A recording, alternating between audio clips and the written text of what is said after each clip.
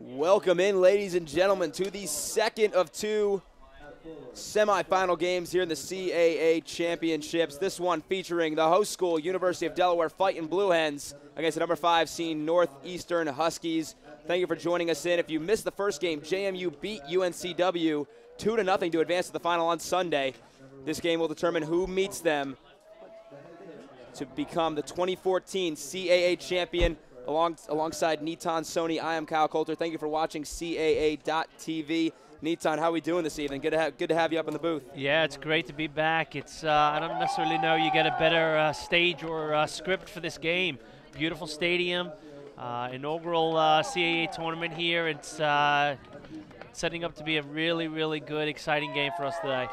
And just like in the first game, where the two teams uh, two teams battled really closely, went into overtime. This this team, this game went to overtime in the regular season. The Blue Hens lost to the Huskies three to two just a couple weeks back. And then if you remember last season in the CAA quarterfinals, the Blue Hens beat Northeastern in overtime to knock them out of the playoffs. So there's a rich history between these two teams, and it's continuing tonight. Let's get you the starting lineups. First for the University of Delaware Fighting Blue Hens.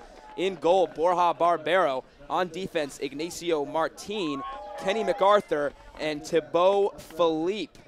And at midfield, Ben Sampson, the junior from Woodbury, Minnesota, Nick DiRienzo, the junior from Wilmington, Delaware, Joe Dupree, the junior from Betchworth, England, and CAA Player of the Year, Guillermo Delgado from, from Tres Cantos, Spain, as well as Kyle Newell, the senior from Hamilton, New Jersey, Benasante, the senior from Ghana. And finally, at forward, getting the start tonight, Kyle Bruno, the senior from Newcastle, Delaware. So there you have it. That's the starting lineup for the University of Delaware fighting Blue Hens. And now for the Northeastern University Huskies in goal, Dylan Faber, the junior from Anchorage, Alaska. On defense, Ambry Moss, the redshirt senior from Nassau, Bahamas. Also joining him, Harrison Balder, the redshirt freshman from Needham, Massachusetts. And Mike Lobin, the redshirt junior from Glen Head, New York. At midfield, Brad Fountain, the freshman from Southampton, England. He is joined at the midfield with Daniel Arvidsson, the redshirt freshman from Sao Paulo, Brazil, and also Mark Greenblatt, the sophomore from Westchester, Massachusetts. Finally, at forward is Donovan Fade Arab de Modav, the senior from Johannesburg, South Africa. Also, Akeem, Akeem Pofu, the freshman from Zimbabwe, and Nick Gu, the, fre- and the redshirt senior from Hawaii. So there you have it. Those are the starting lineups for tonight. Oh, sorry. How could I forget the CAA Rookie of the Year, Franzi Perot, the freshman from Massachusetts, leads this team in goals and assists. It's no question why he was the CAA Rookie of the Year, was CAA Rookie of the Week three times out of the year, had a monopoly on that award so far this year. So look for him to have big things and try to break down this uh, this talented Delaware defense. Kyle Bruno, who had the game winner a couple weeks ago over Elon to give the Blue Hens the number one seed, their first CAA regular season championship in school history. He gets the start tonight at forward. It'll be him and CAA Player of the Year, Guillermo Delgado. We are underway here at Stuart and Suzanne Grant Stadium. Ben Sampson quickly putting on the pressure as Perot. We'll see that a lot tonight. Here's Newell. Tries to get it up to Bruno. Now Martine gets it. Feeling the pressure there from Modav. Yeah, just looking at uh, how uh, Northeastern was setting up there. just looking at how Northeastern was setting up there, looks like they're playing a 4-1-4-1 as opposed to Delaware's traditional 4-4-2. Um, a lot of a lot of uh, opportunities to exploit for both sides, depending on the way that they play it. So uh, it'll be interesting to see what the adjustment's going to be like in the first 10 minutes to see uh, how the players uh, recognize those areas where there's uh, opportunities to exploit some space and uh, really find a rhythm into the game. So early on, obviously, the exchanges are going to be pretty close. One thing we found from uh, all of these teams playing in the CAA, CAA tournament, they are playing their best soccer come tournament time, and that's really what you look for. Northeastern beat a very talented Elon team down at Elon this past weekend to get their spot here in the Final Four, and now they're going to try to uh, mimic what their number six, not the number six seed JMU just did, and knock off and, and knock off the top seed in two straight upsets. But Northeastern, uh, unlikely um, heroes here in the CA tournament. They've been outscored in total uh, on the season, 27 to 19. Five of their goals have come in overtime, and of course, one of those the game winner to beat Delaware earlier in the season. So the Blue Hens will try to have to get this done in regulation because Northeastern, they they when it comes down to it, they uh, they buckle down and get the big goals when needed. Yeah, I don't think anybody wants to be out of here longer than they have to. It's like uh, 33 degrees out there, so definitely all the players feeling the chill uh, from the weather tonight. But uh, yeah, let's hope we can get this wrapped up in 90 minutes. I'm, I'm sure at this point. Uh, I'm sure at this point they, they're not even uh, they're not even feeling the cold weather. It's all about getting to the CAA championship game on Sunday. We're gonna get a free kick here from Northeastern. And that one towards Perot in the box. Sampson's able to get ahead to it. Now to Joe Dupree. Joe Dupree, CAA second team member. Got that onto this season after his uh, stellar play throughout the year. Martin chips that forward. Delgado heads it back to Bruno. Now up to Dupree. Good defense there from Pofu. Take that one away, and the ball goes back Ball goes back to the Huskies. Dylan Faber, the junior, standing at six foot from Anchorage, Alaska. He's had a solid season, has played pretty much every minute in goal, building up a lot of chemistry with that back line. And they're going to need it today with the high-powered Delaware offense, who are missing missing a couple attackers in Jaime Martinez as well as well as Roberto Jimenez. Martinez went down with an injury earlier in the season. Haven't seen him in a while, but Blue Hens have had uh, different players step up and score, including Kyle Bruno, who's in the starting lineup tonight. Yeah, I think that's always a mark of a, a, you know a good solid team is when you're losing some of your key players that there's other people that are going to be willing to step up and and uh, take responsibility. So uh, obviously a, a, good trait there for for Delaware going into this game. And that that kick from Pofu went off the back of Bruno, so it'll be a northeastern throw-in along the near side. Here's Perot with it. Gets it back to Pofu. Dupree on defense. Pofu's got some room, cuts it back to his right foot. Good through ball there. Barbero has to come out and get it. Heady play there from Nick Goo, the redshirt senior. Yeah, good wide play there from Northeastern. Uh, finding an opportunity there to, to, kind of drive inside rather than play the, the wide man and then try to find those two two central forwards in and around the 18 yard box. So uh, good good uh, good period of pressure there from Northeastern.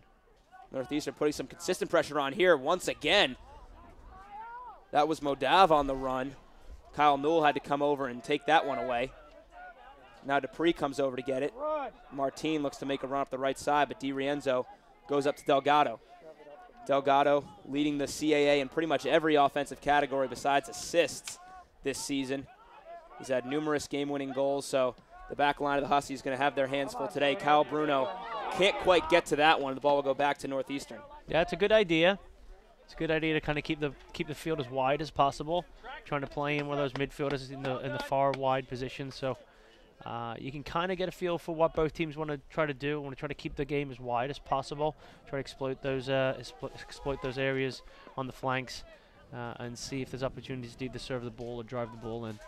And Northeastern has uh, two experienced, uh, very talented defensemen, both named to the second team All CAA, and that was Simon Cox as well as Ambry Moss. And here is Pofu trying to get into the middle to Bo Philippe. Another very talented rookie on the field tonight. He was uh, he was named to the CAA All Rookie team this this past weekend. And there's Greenblatt taking it away. Northeastern taking it over the midline trying to get it to Perot. Ben Sampson cuts it out. Now we'll travel back and forth. Benasante tried to get to Delgado, but that one's headed away there by Mike Lobin. Will be a northeastern throw-in.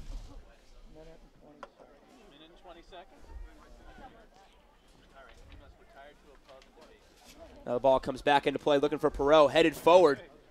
Almost got it up to Greenblatt. Kyle Newell has to shield the charging Greenblatt, and Barbero comes out and takes that one away.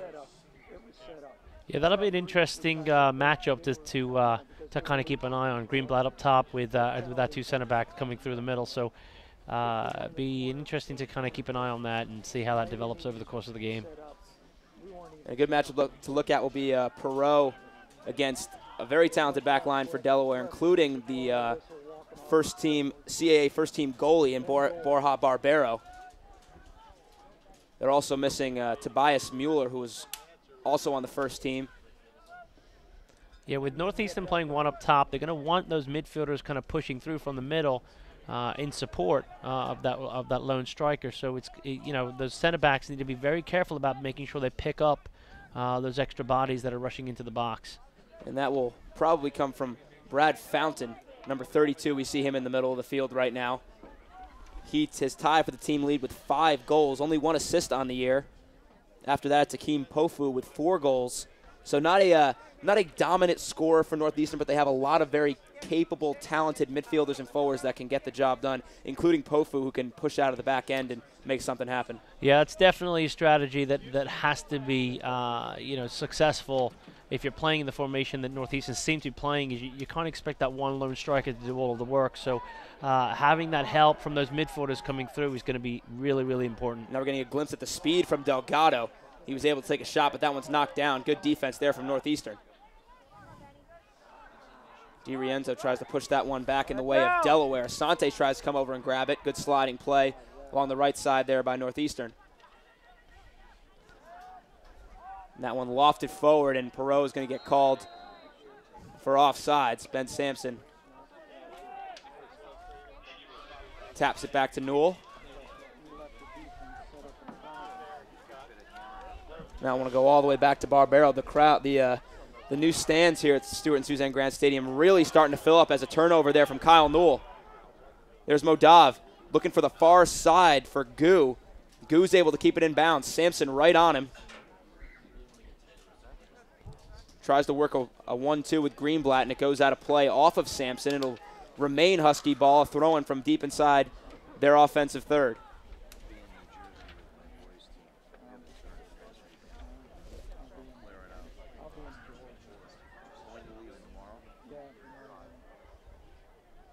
And also, just as a reminder, fans, for complete coverage of the CAA Men's Soccer Championships, including post-game recaps, stats, and highlights, log on to the new and improved CAAsports.com from any internet-connected device. As Perot and Asante battle along the end line, that one is turned out of play, but it will remain Husky ball. Now Perot and Asante again going at it. This time Asante wins that battle.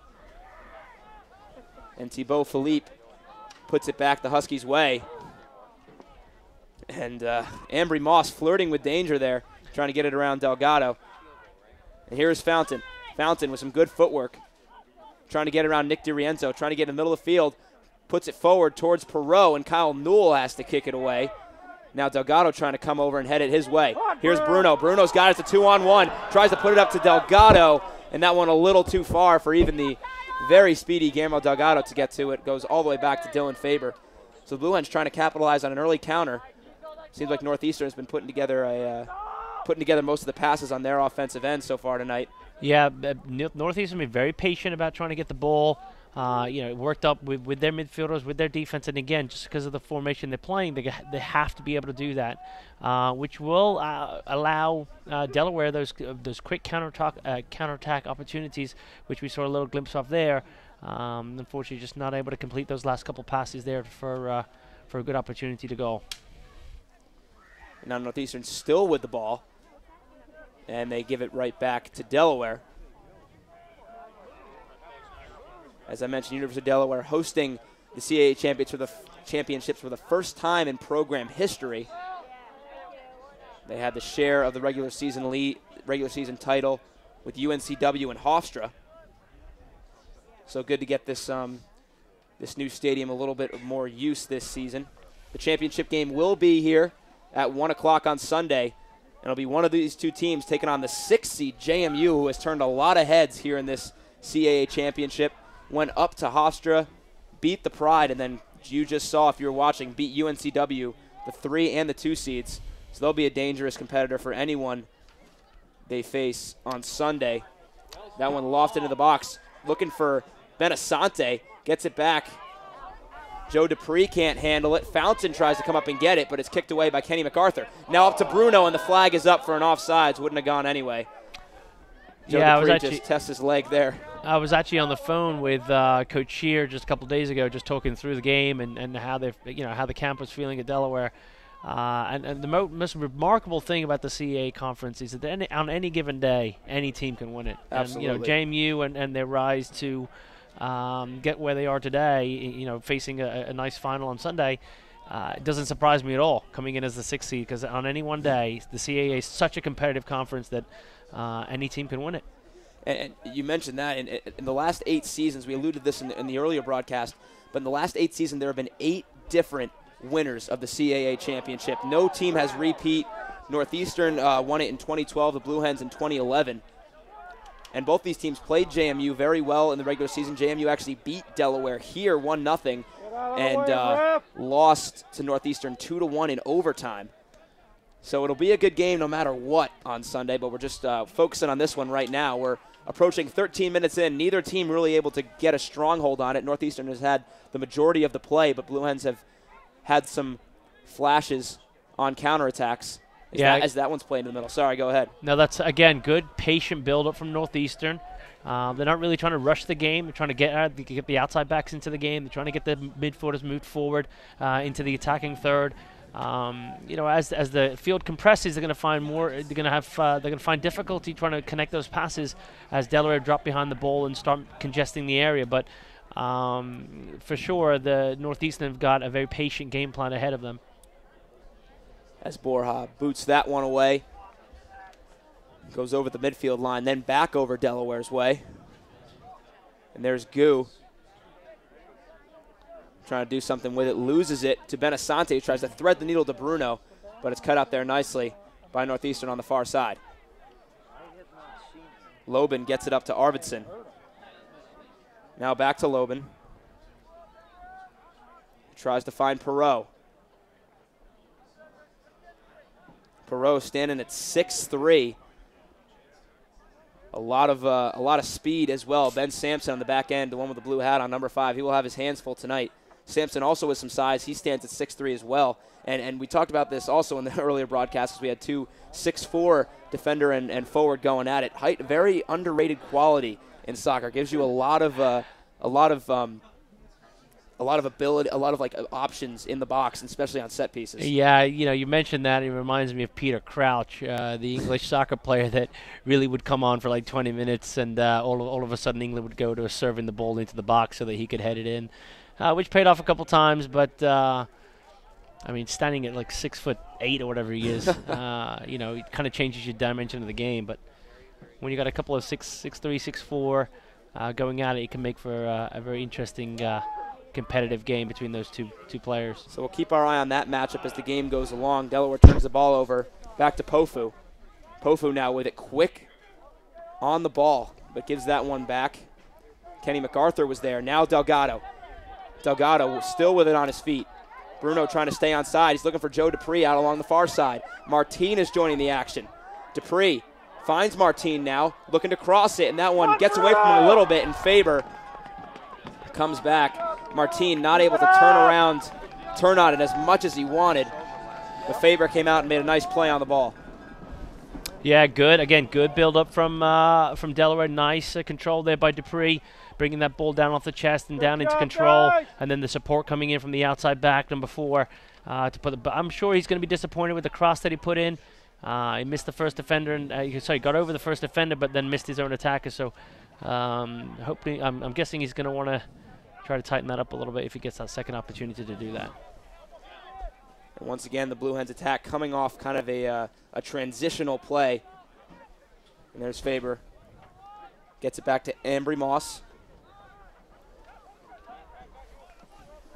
Moss boots it towards the way of Modav over the head of Martin.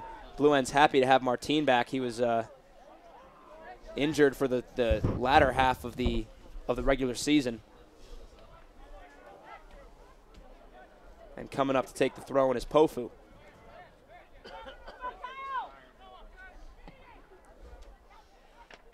That one over the head of Perot. The flag is up for offsides. The main re- the head referee has not seen it. Now he does. Blows the whistle.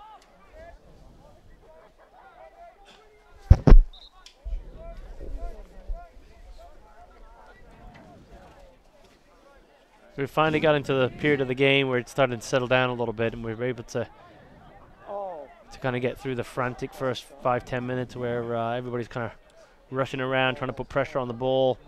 Uh, we started to settle down, and uh, this is where kind of the game gets interesting usually. And this is where the first goal came in the uh, in the opening game when JMU got on the board. Now that one's towards Delgado. Tried to head it on to Dupree, and they're battling towards the end line. That one's going to roll out of play. No call there from the official. The ball will roll harmlessly out of play for a goal kick. And just looking at some of the stats here from the CAA, Delaware tops in every stati- every offensive statistic: shots, goals, assists, points, and goals per game, assists per game as well. So the offense not a problem for Delaware this year. And uh, but hey, you got um then you got over on the other side Northeastern, first in saves. Faber has 77 on the year. A little miscommunication there, but you can see what Delaware's trying to do. Northeastern straight away in a very quick counterattack down the other end. Kyle Newell gets it away from Perot. Perot kind of lifts his head up in a little bit of frustration there. Pofu comes up. Northeastern even in terms of goals in the first and second half.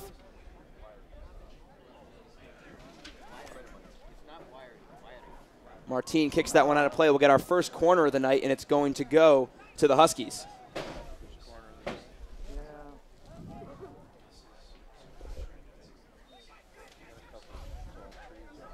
And it looks like it will be Arvidsson coming down to take it. Keep an eye on Perot on the back end, number 23, as well as Fountain, number 32. It's going to be a short one. That one chipped in, and Bruno takes it away. He's got some room on the right side if he can keep it in bounds. But coming over quickly was Greenblatt, who turns the ball the other way. Now Modav with it. Still with it. Gets it to Fountain. Fountain looks out wide. Gets it to Pofu. Pofu working on Martine. Martine went for a lunge. Pofu's going to launch it into the middle, and that one's headed away by MacArthur and out to Asante. Blue Hens trying to mount another counterattack. Dupree, DiRienzo joining the fight.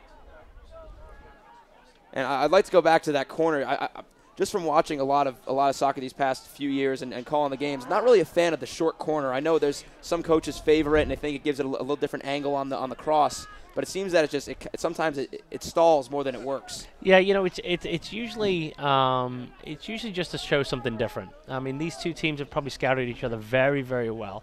Um, they kind of understand who the key players are and, and how they're going to shape up in terms of corners and you know what the dangers are. Uh, and usually coaches say, "Hey, look, just let's show them something different." Uh, and the short corner kind of does that because it kind of pulls you out and uh, changes your shape in the in, in, the box in terms of how you're marking and what spaces you're marking. So, um, yeah, it can pay off. But uh, I'm with you. I, you know, I don't necessarily know technically that they always work out and execute it exactly how they want. So it's better to just put it in the box and have uh, have people really uh, try to fight for the ball. And head coach of the Huskies, Brian Ainscough, in his 10th season Sure, he knows what he's doing. Bruno, Dupree tried to touch it along. Great stop. Number 12, Pofu, got a foot to it. Delgado had a wide open lane if that ball went through. And fans still continuing to pour in here. Yeah, Pofu's had a really strong uh, start to this game. He's been involved in a lot of what's uh, uh, Delaware's been trying to do, trying to break that, break it up. Whether it's with uh, Delgado or with Dupree, he's been uh, really involved so far. Very impressed. And now we'll go back to Kyle Newell taking the free kick just over the midline. A lot of players push forward. Newell's trying to deliver this one into the box. Looking for Sampson. And Sampson gets tripped up. Let's see if he can save it. He does. Cross it back over the other side. Delgado gets ahead to it. Still in the box. And then it one is cleared away. Yeah, he's looking to nod that down as somebody rushing in. And unfortunately, they were off to his side. Uh, it's a good idea by Delgado just to want to keep it in play uh, and knock it down for somebody else who's in a better position to uh, to have a strike on goal. It's unfortunate there for Delaware. And Sampson, just like to point out that uh, he got tripped up a little bit. Could have taken a dive and tried to get a call. Instead, he stuck with the play and almost resulted in a goal for Delaware. They did very well to keep that in. I think it was. I think after he kicked the ball, he was he was on the floor, so laid himself out for that one. But now Northeastern has the ball back here under 24 to go in regulation. Once again, thank you for joining us here on CAA.tv. Neton Sony, Kyle Coulter with you here from University of Delaware. Looking to see who's going to take on JMU in the final on Sunday. Right now, we've been deadlocked between these two teams. Thibaut Philippe coming over to take that one away. Philippe got some room along the left side. Tries to chip it on forward to Bruno. Bruno trying to get around Pofu. Pofu misses it, but we're going to get a call there against Bruno. 10 to 15 yards back. A little shove from the big man. And the ball will go back to Northeastern. Yeah, I think it's a little harmless. Just both both players wanted to get to the ball first. It's unfortunate. And Delaware not uh, not shy, not uh, not shy about playing aggressively. They have a lot of yellow cards this year, uh, just from not, nothing really malicious, just from hard play. And uh, we saw in the in the first game eight yellow cards given out among the two teams. And with that, with how how high the stakes are and the tensions between these two teams, and especially the history through this season, I'm sure it's uh, it's it's tough to keep a level head. Kenny MacArthur heads that one back towards Greenblatt. Greenblatt to his left, trying to get it around Philippe, but he has to backtrack. And that one's played up. Modav has it now, trying to get around Martin. Nutmegs Martin. He's going to take his right foot. Shot, and it goes wide. Barbero might have gotten a hand to it. Perot was lurking on the back end. Tried to get a, tried to get a, uh, a foot on it, but it's going to go out of play. They're going to say it touched Barbero. However little of deflection it was, it probably saved a goal. And now it'll be another corner for the Huskies. Yeah, again, from wide position, driving inside into that 18 yard box, which is always very, very dangerous. Defenders don't really want to commit themselves too much because they're afraid of giving away a penalty. So, yeah, for the sake of giving them a little bit more room, uh, you know, good strikers only need a, a, yard or so to get that shot off, which is what we saw there. So, uh, however that ball went out for a corner, uh, I'm sure uh, Delaware are going to be happy with that. And Bruno heads that ball away, but it almost comes back and Northeastern gets Northeastern gets uh, call for offsides. Here we're gonna have the replay of the shot.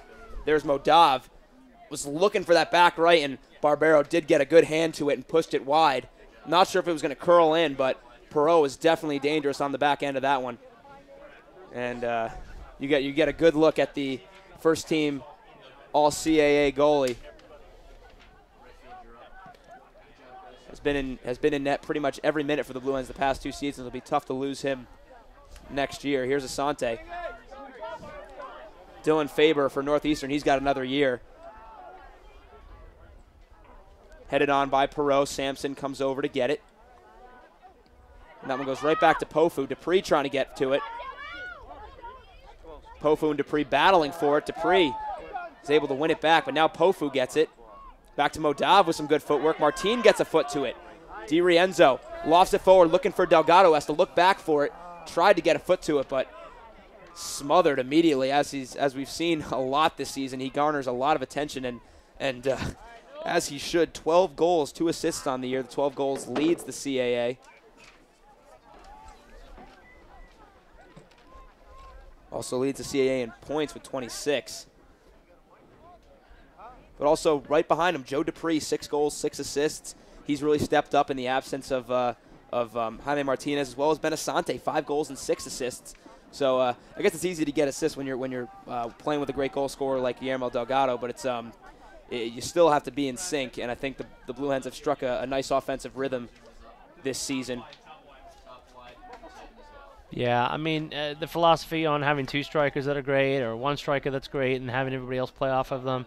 Um, you know, ideally, I'm, I'm, guessing half the half of the coaches in the country would say, "Hey, I got one guy, and we can play off of him." And other ones say, "Well, while well one while they're entertaining one, maybe oh here we go." And looking for MacArthur on the back end, but that one is kicked away. Yeah, while they're entertaining one striker, you know, I have the other one free to kind of roam around, much like they did a couple years back, uh, Delaware. So. Um, and now the first corner for Delaware. Kyle Newell out to take it. Ben Sampson to Bo Philippe. Watch him on the edge of the box. They have the height for Delaware. Also Kyle Bruno, number 27 as well. Newell, the righty, getting the in-swinger in. Here comes the ball. It's a good one. Goes over the head of Faber, over to Asante, and now coming to Philippe, who takes the shot. Got good contact, but it goes over the net. Yeah, again, great job trying to keep the ball alive. A long, uh, long corner, committed the goalkeeper out to the back post. Uh, found ourselves uh, playing the ball back in. Uh, fall into Philippe there, unfortunate there, but uh, good job keeping the ball alive. A good defensive stand there from Lobin and Faber and Moss and the rest of the Northeastern defensive unit. Now this one's played back towards Delaware, but goes over the head of Bruno. Now Bruno gets it back, tries to get it to Asante, but it's tipped away by Greenblatt and wins the ball back for Northeastern. Sampson kicks that one out of play. Ball will go back to the Huskies as we approach 18 minutes to go here. Still scoreless in the first half. It's been very calculated so far. No, no real risks being taken by either team, and uh, you know uh, what this, you know, and obviously what this game needs is a goal to see uh, to see if the game's open opens up a little bit, and one team has to kind of take a little bit more risk than the other. So. Um, you know the, the, the, scoreboard right now it's, it's not for lack of trying. Each team has had has put together good offensive runs. It hasn't been a game that's been played largely in the middle of the field. Actually quite the contrary. It's either been played on one third or the other. And now bruno has it taking it over the midfield line gets it up to delgado. Martin joining the run. Martin gets behind and now they're going to find him. He's quickly marked by modav and now he goes to his right loses it. Modav keeps it in the corner. Great defense Fader Abdelmodav, the senior from South Africa, doing a nice job deep within his defensive end. Now Perot's got some room. Kyle Newell able to hustle back and kick it away. So uh, two real great examples there, some good defense. We've got Northeastern coming in and shielding off a player, solving that problem, that one-on-one problem. Then we got Newell coming back and recovering uh, and putting Delaware in a spot where they can get back behind the ball and uh, and defend. So uh, two nice examples of some 1v1 defense that played out both for, for both teams. Especially since Martin, the, the player who's normally occupying that back right, was all the way on the other side of the field, so Newell had to hustle back. But we've seen great recovery speed from both defenses today. And that's going to be that's going to be key with speedsters like Perot and Delgado on opposite ends, firing on all cylinders. Moss plays that up to Modav. Modav ships it along to Fountain. And it looks like we're going to get the flag up. Looks like it was an offsides. Now back to Kyle Newell. Barbero's going to come out and take it. And it's funny, we we are up probably about 50, maybe about 30, 40 yards off the field, uh, 40 feet up, and we can still hear Borja Barbero yelling through the glass. Very vocal leader of this team. And he boots that one away. That one goes Almost gets it to Delgado. Benasante was waiting there, but that one's cleared away. Good defense there by Harrison Balder. Balder been holding down the right side, the redshirt freshman from Massachusetts. I imagine both coaches are going to want to get in at halftime and really tell and encourage these players to tighten it up a little bit. Way too much, uh, uh, too many, too many players out there for my liking that are uh, playing a little too casual. Uh, even that pass out there to uh, Asante. They just need to be a little bit crisper and a little bit, little bit sharper. Uh, I'm sure the coaches are going to want to demand that coming into the second half here as we get closer to the halftime break. And Delgado being marked tightly by Embry Moss, not letting him get an inch. Here's Sampson, taken away by Fountain. Now we got a counterattack. Fountain getting forward, tries to push it out wide, and that attack stalls. Once again, the recovery speed from Kyle Newell and Kenny MacArthur coming back to stop that attack. Yeah, the timing between the midfielders there and the uh, northeastern uh, uh, forward uh, just a little off. I mean, you could see that he was ready to get in behind those back line, but there's a little delay in the ball coming in through the midfield and uh, caught him offside. So um, readjusting that run and that timing is going to be really important if they really want to be effective with that counterattack with one lone striker. And we have a a substitution now for the Blue Hens. Marco Severio, the sophomore from Spain, checking in for Kyle Bruno. Martin back to DiRienzo.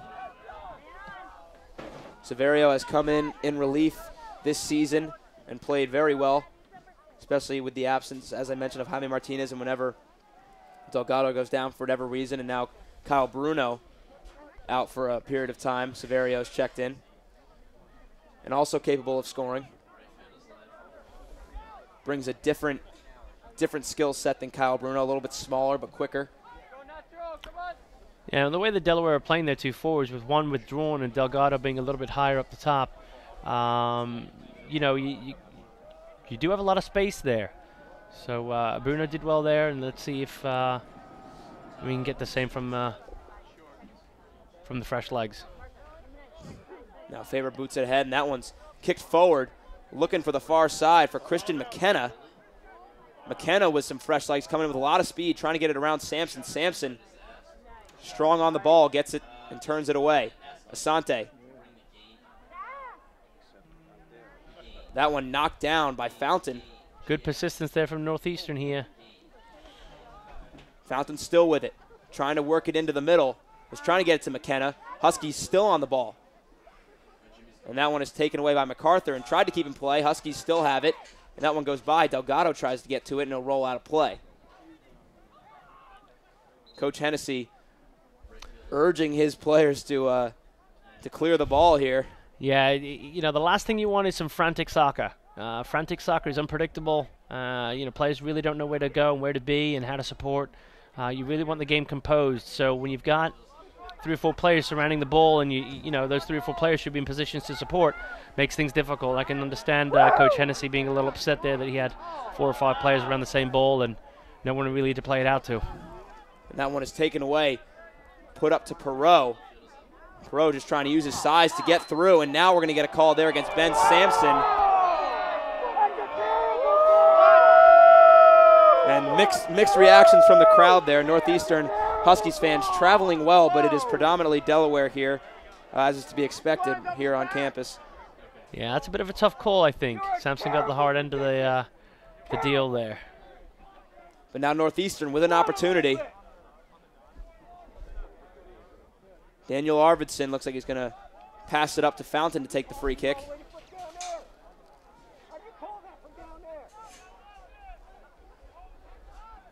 Huskies pushing numbers forward, looking to serve this one into the box. Very lonely wall of Joe Dupree standing in front of him. And here comes the ball. The Blue Hens playing what they normally do. They just run and try to get the uh, try to catch the Huskies off sides and then turn it into a counterattack. Here's Delgado.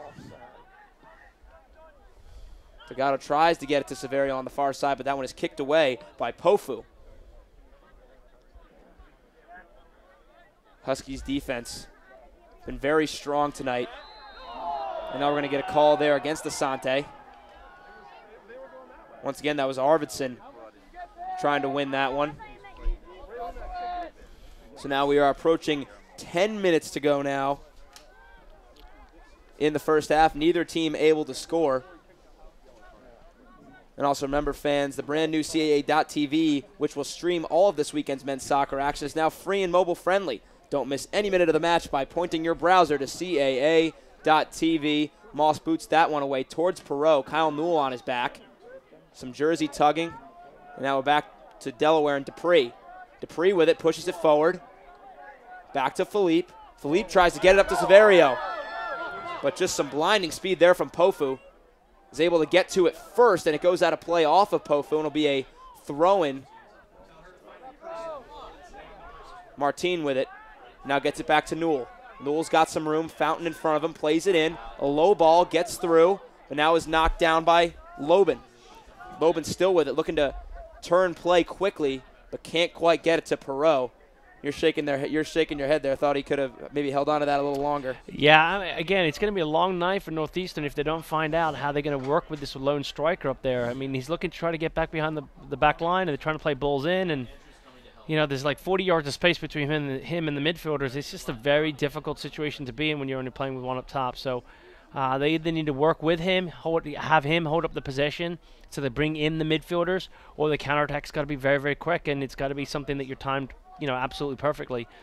Um, so yeah, I mean, I, I, think he could have involved a couple more players there instead of sending a ball into uh, the lone striker with three defenders with him. Uh, it doesn't. It's not going to really work that well. And with Delaware keeping two, maybe one, two to three defenders back at all times, it's going to constantly be a two-on-one struggle for Perot to try to get through. And we have a, uh, a stoppage here by the referee. But as I mentioned, uh, only 19 goals on the season for Northeastern. They're averaging a goal a game. Delaware averaging over two. But right now, it's Northeastern's defense has held firm. As I mentioned, two players on that back, two seniors on that back line, members of the CAA All Second Team. As that, as that ball goes out of play, I also want to remind you to be sure to follow the CAA on Twitter and Instagram by searching at CAA Sports or like the league on Facebook by searching CAA Sports. We want you to be part of the conversation. Be sure to tag your tweets, posts, and pics about today's action with the official hashtag of the championship, CAA Champs. Barbero comes out and smothers that one. And that's a low ball. Trying to get it to Delgado. Delgado with some speed comes back and gets it. Now Delgado looking to mount the run. He's got Dupree to his right. Finds him.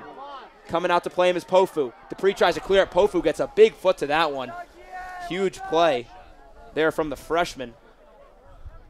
Pofu has been a very busy boy in this opening first uh, 40 minutes or so. And I was expecting to look down on my lineup sheet and look and look to find a senior next to Pofu's name. And that Faber out of the ball, out of the goal. Dupree tries to get back on the ball, trips over it, and he falls upset with himself there. Thought he could have had an opportunity.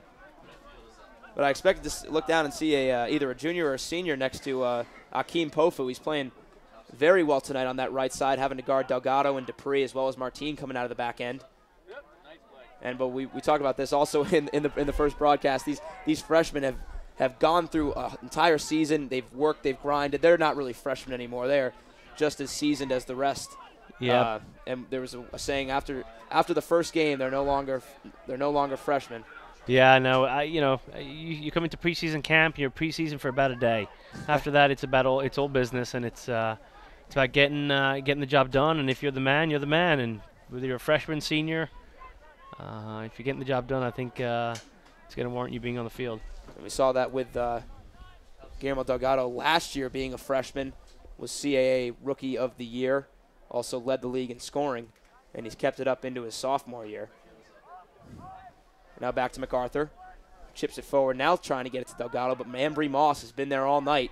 Now Martine pushing up from the back end. Dupree's got some room in the center. Still with it on his foot. Now gets it taken away, but tries to gather it back, gets it around Fountain, and back to DiRienzo. It's got to be patient here. It's got to be patient here from Delaware. They've got to really work the ball around and find that possession that's going to help them create the spaces. The runs off the ball are going to be able to create some space as well uh, from the players that are, are, that are surrounding. And then obviously you can have the option to go out wide and serve the ball in. So uh, when Delaware find themselves in these in these high positions in the attacking in Northeastern's attacking uh, defensive third, uh, they're going to want to really be patient on the ball. And McKenna gets a foot to that Sampson cross. It'll be a throw in for the Hens. And that one dragged back and kicked away by McKenna again, but that one's going to go out of play. Be a Delaware throw in. It's been a first. It's been a fast first half, under six minutes, still scoreless. Both teams have had their opportunities. It'll be another throw in now for Delaware. We're going to get this clock stoppage here as we look to get another ball.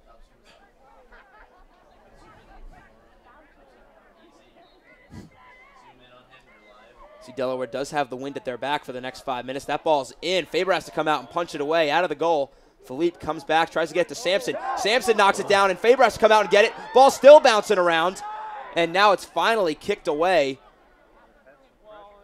I believe it was Loban who got his final foot to it. That was a big kick. Severio. Again, that nice run from Severio there kind of really pulls the players out, and pulls the players out of the 18-yard box. Dupree gets ahead to it. Faber right there. Johnny on the spot. If he was even a foot to the left, that might have been a problem, but Faber with quick hands is able to get to it. But the Blue Hens knocking on the door here late in the first half. Delgado sprints to try to cause a turnover. Faber boots it away towards Pero. Man, 6'3", jumped up. He looked like he was about nine feet up there. Sampson. Delgado kicks it back to Severio. Nifty footwork there. Gets it out to Asante. Back into Severio. Again, patience is the key here. Up to Martine making the run out of the back end. Once again, Pofu is there patrolling this near sideline, and he gets a foot to it. And now we're going to take another look at that Joe Dupree header when we get a chance. Here it comes over to the back end. Dupree getting up, and Faber was right there to make a big save. And now back to the action. It was just kicked out again. Martinez with another throw in. Gets it to Dupree. Dupree drags it back to Martine, Martine who crosses in. Asante gets to it first, and that one is cleared away there by McKenna. And now up in the air. Newell shielding well. Gets back to Greenblatt, who lofts it up, and that one goes out of play. Martine now has it under four minutes to go. Back to Kyle Newell. Perot giving chase. Newell trying to get rid of it. He does. Gets it over to Sampson. McKenna coming up and putting some pressure on. And now gets it out to MacArthur. MacArthur up the left side. Great change of dire- uh, great point, uh, change of point of direction there uh, from Delaware. Newell doing a nice job getting over to Sampson, and Sampson opened up that far side of the field with that longer pass to the outside mid. Now the ball comes into Arvidsson.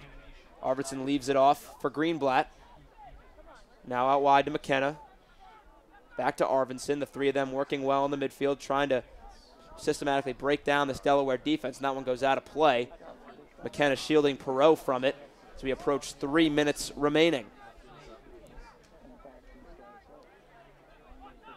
After that shot that Barbero blocked wide from North from uh, Modav earlier in the first half, haven't really seen much from from Northeastern offensively.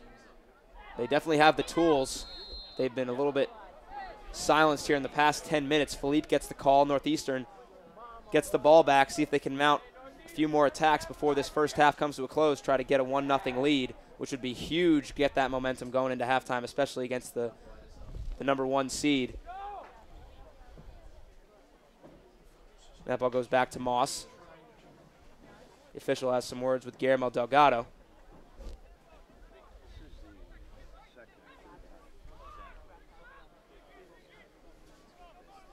Here's Ambry Moss to kick it away as we approach two minutes remaining. That's a long one. Gets it to the edge of the box. Perot heads it down. Turns on it quickly as McKenna going for the top right corner and hits off the post. Nice. What a turn on it from very, McKenna. Very nice. Very nice chest, turn, volley. Uh, it takes a lot of coordination to be able to pull that off, and he wasn't too far away. He comes off the post and, and out for a goal kick. Surprised it wasn't called a corner. It seems like it hit off Barbero before it went back out of bounds, but the side judge saw something different. Ball goes back to Delaware. But uh, absolute strike from McKenna. Didn't Yeah. honestly didn't think he was going to get that close, and then it almost goes into the top right corner.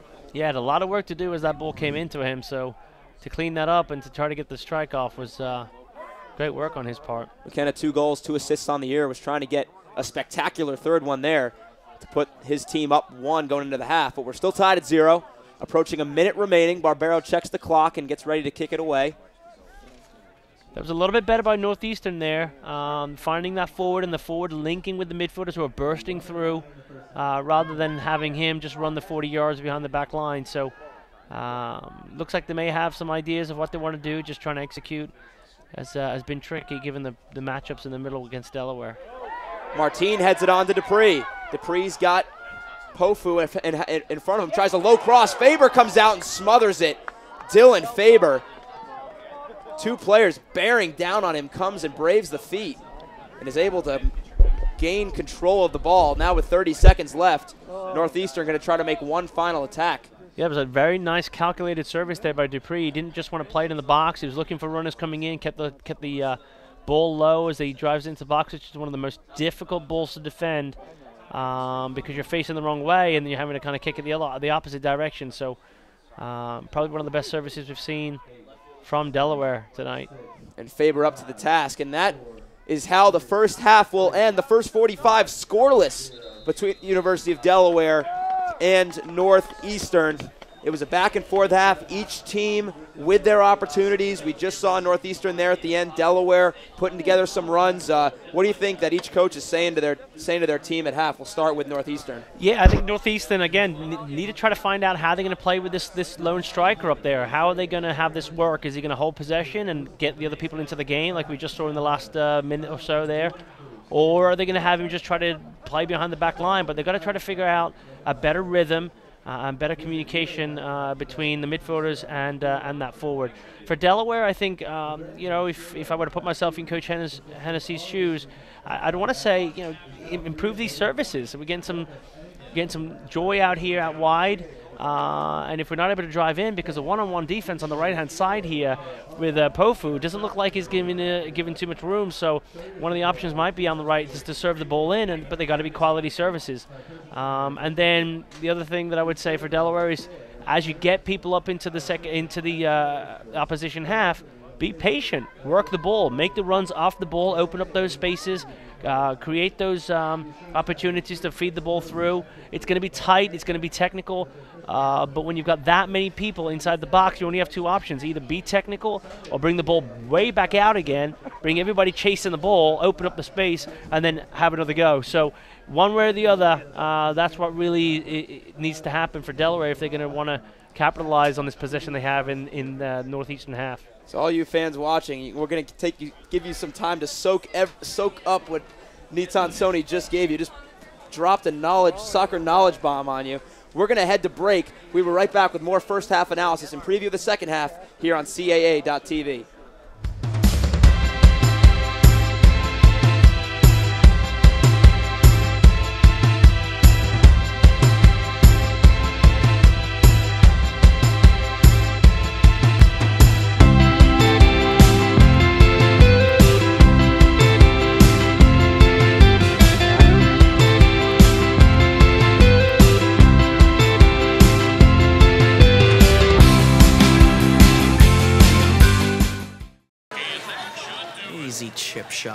So much for overtime.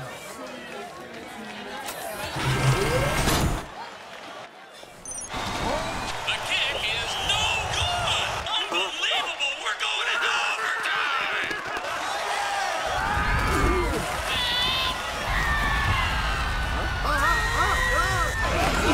Best overtime ever. Buffalo Wild Wings. Wings, beer, sports. When you're a parent, small steps can feel like giant victories. Like starting your child's plan with the College Savings Plans of Maryland. You can start small, with as little as $25 a month, and both plans can be used at nearly any college nationwide. Go to maryland529.com to learn more and see how easy it is to open your account today. Read the enrollment kit. If you don't live in Maryland, check with your home state to learn if it offers tax or other benefits for investing in its own 529 plan.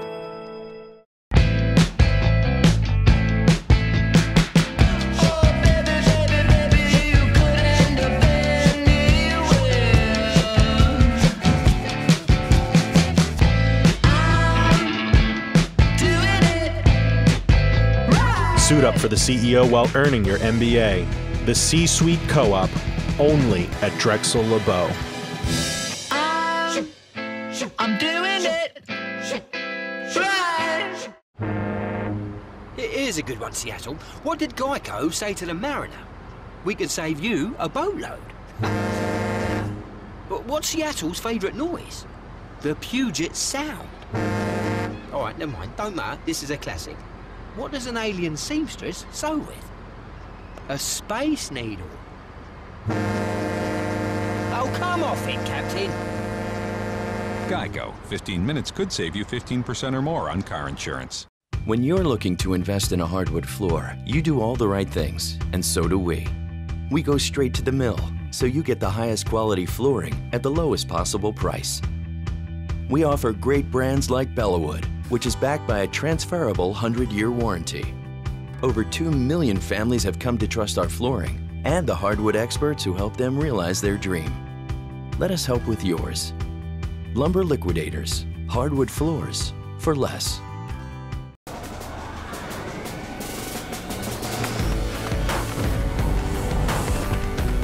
This is where the legends live, waiting for someone with better innovation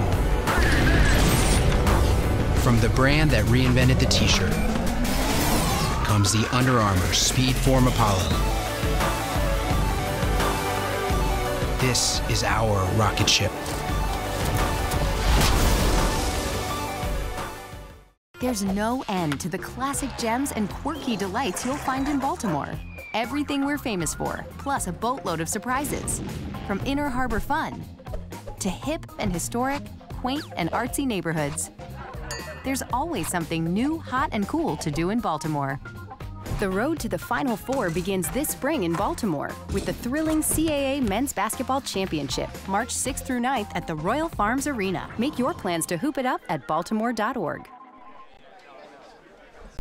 Kyle Coulter, Neton Sony back with you from the University of Delaware, CAA.TV's coverage of the CAA Championships. We are at halftime here, tied up at zero, Blue Hens and Huskies.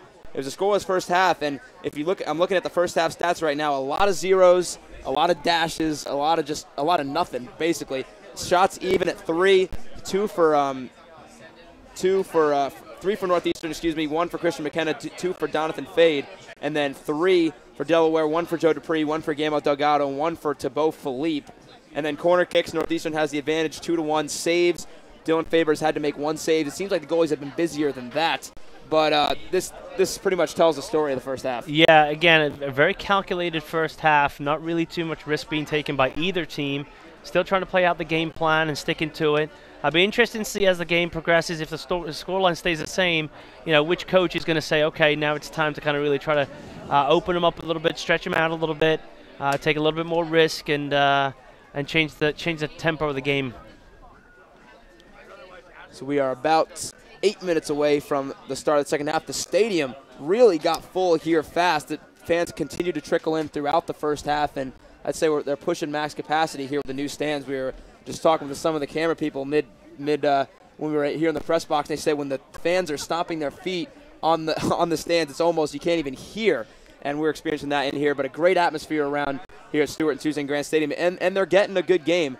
Uh, see, what do you think uh, if, if Coach Hennessy is going to make any adjustments to this offense? What do you think it's, it's going to be this Um, coming out in the second half? Uh, yeah, from, from the offensive side, you know, if you, if you if you look at just shots, um, you know, just shots taken, uh, you know, Delaware's been in a lot more opportunities to take shots uh, that they haven't taken, uh, and, and probably overpossessed when they should be, you know, taking shots. So there's definitely some opportunity there to clean that up. But at the same time, Northeastern on the uh, you know uh, have have been a little bit more opportunistic than, than Delaware on the offensive side, and and almost had that great success there from the uh, from the control and, and, and, and, turn on the volley, uh, sorry, the volley on the turn, uh, right there in the closing five or ten minutes or so. So.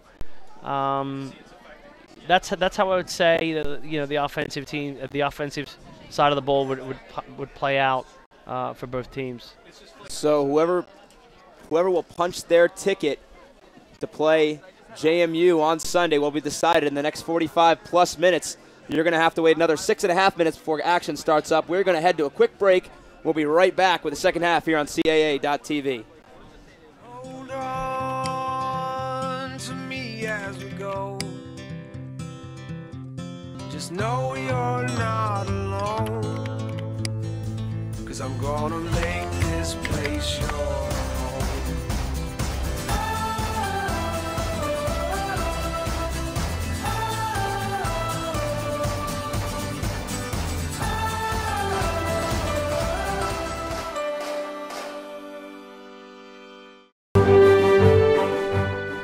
James Madison is so unique for our community. We are here for the students. I teach because I want to transform lives. I teach so that I can help people do things that they never thought they could do.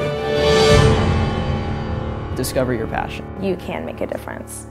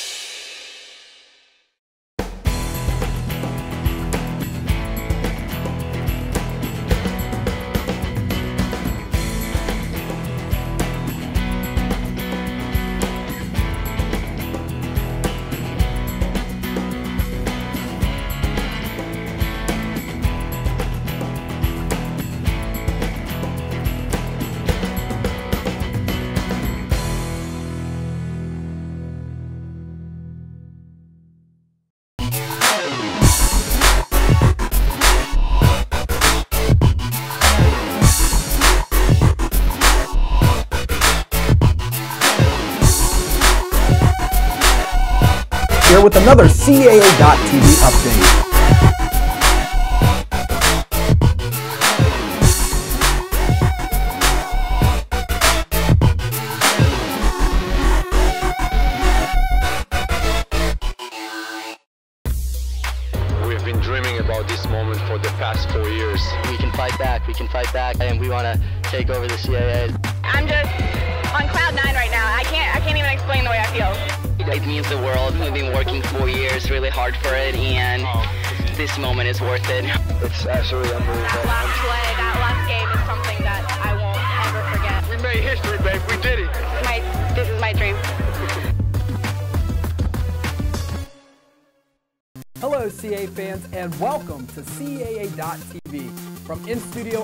With news and highlights to go along with our marquee shows this week in CAA football and CA Hoops Weekly. To live HD streaming of events from every campus and every sport, we'll go on campus too, giving you an in depth look at the lives of the coaches and students behind the championships. Check in with us every day on YouTube and, of course, by visiting us here at CAA.TV.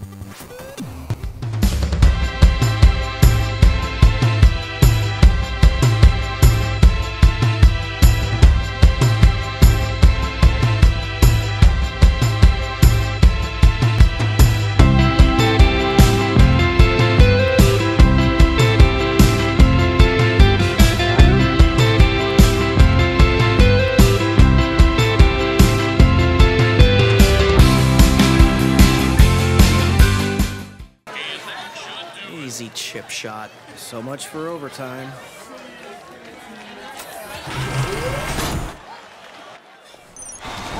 The kick is no good. Unbelievable. We're going to overtime.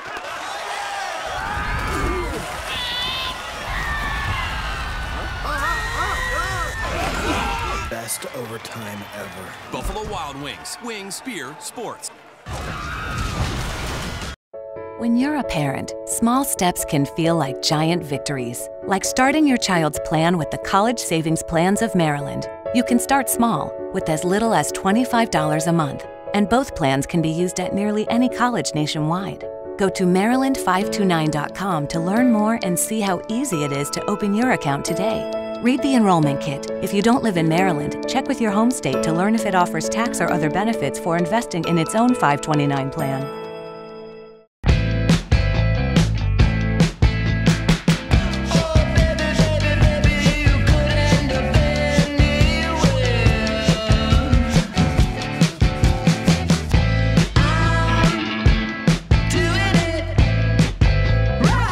For the CEO while earning your MBA. The C Suite Co op, only at Drexel LeBow. I'm doing it. Right. Here's a good one, Seattle. What did Geico say to the mariner? We can save you a boatload. but what's Seattle's favourite noise? The Puget Sound. All right, never mind. Don't matter. This is a classic. What does an alien seamstress sew with? A space needle.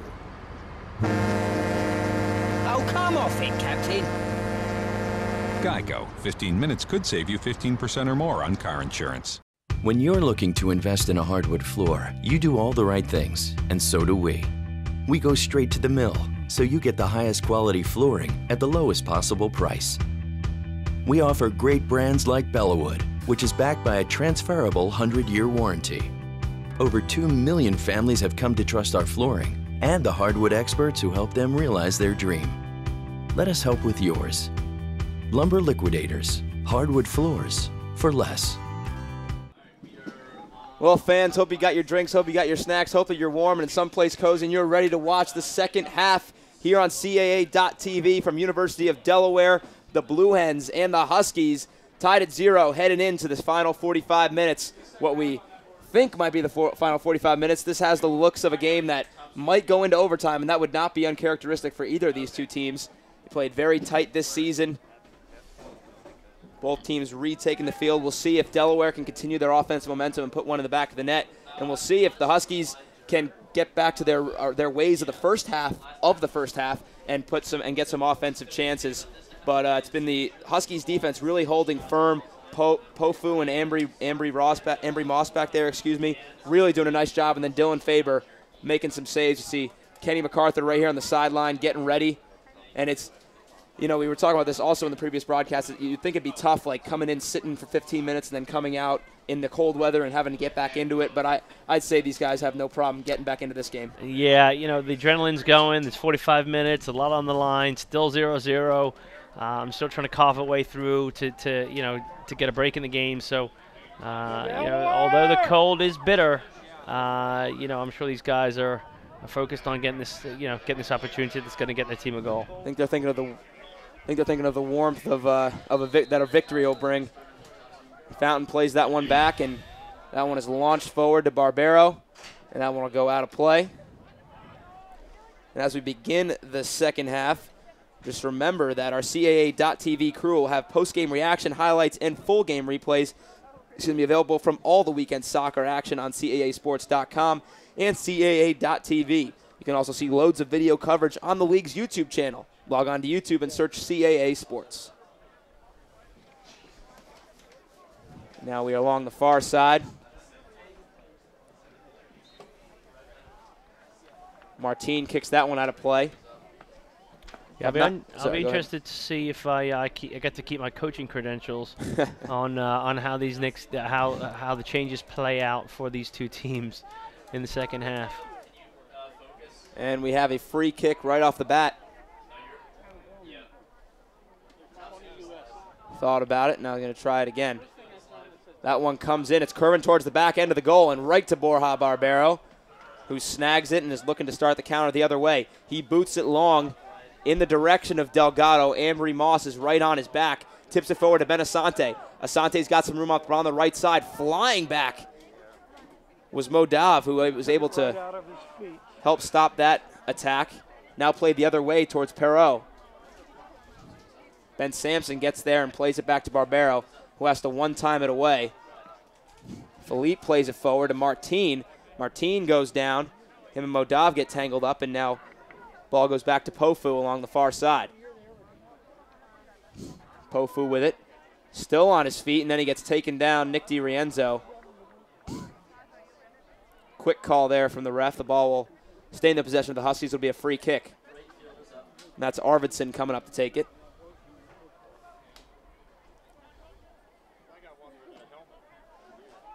Didn't like the way the ball was positioned, so he's going to switch it around a little bit. We'll see if that makes a difference. Here comes a kick. That one towards the goal, and he goes wide. Arvidsson a little too strong on that one. Yeah, I'm not sure what he was trying to do there. Whether he was trying to just put a dangerous ball in the box, or whether he was actually trying to look for somebody. Uh, but a wasted opportunity there. Had a lot of numbers up in the box, and uh, could have played that. that play, could have played that out a little bit better. There's Barbero to kick it away. Now there is some slight wind. It's now at the back of the Huskies.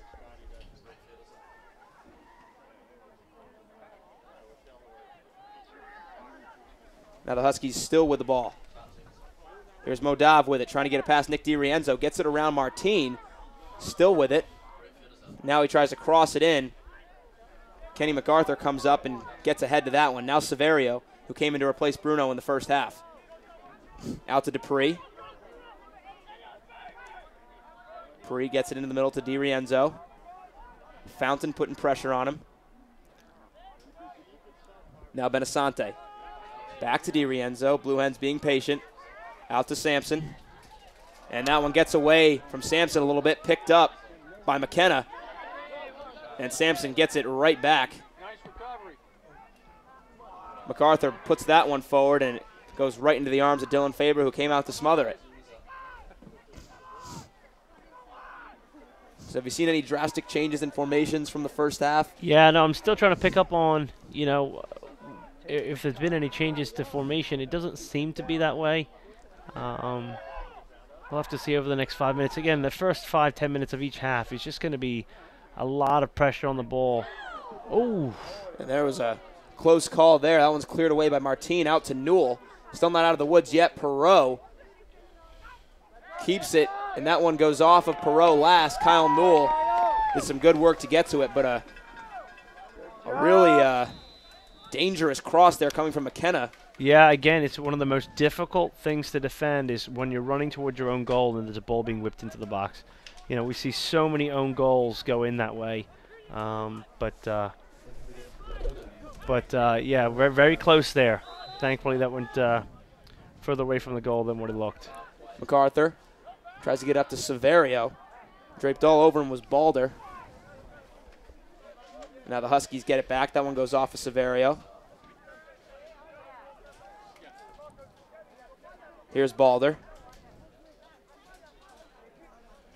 Looking for somewhere to go with it, trying to find Perot.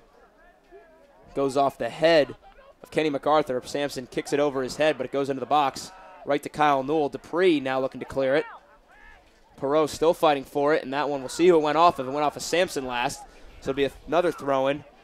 Yeah, Northeastern trying to state a claim to the to the to the second half, nice and early, trying to really dictate the pace and dictate the momentum, pushing the players up as far as they can. Midfielders coming through, pushing Delaware back behind the ball, causing a congestion and a little bit of a panic, and Del- Delaware out of shape. So uh, Northeastern definitely came out here to change the uh, change the tone of the game. That one goes off the foot of Kenny MacArthur. Kyle Newell hobbling around. Official goes over to talk to him. Seems like he's all right. And now a throw in coming from Balder. Northeastern still chopping at the wood here, and that one's taken away. MacArthur plays it forward. Delgado, one touch back to Severio, is able to keep it on his foot, but Fountain takes it now. Perot. Yeah, you can already see that there's a lot of high. That there's two or three players for Northeastern higher than their forward at this point, which is uh, which was definitely missing from the first half. You've got Greenblatt coming through. You've got the outside wide midfielders in higher positions uh, than the lone striker. So they they've obviously had a talking to about how to be a little bit more supportive in in playing in that lone striker role. And now with a lot of full head of steam, that was Pofu, but it gets taken away. And now back to Delaware. Di Rienzo out to Dupree. Dupree still with it, taking over the midfield line into the middle. Out wide to Carlos Perales, who's making his first appearance of the match.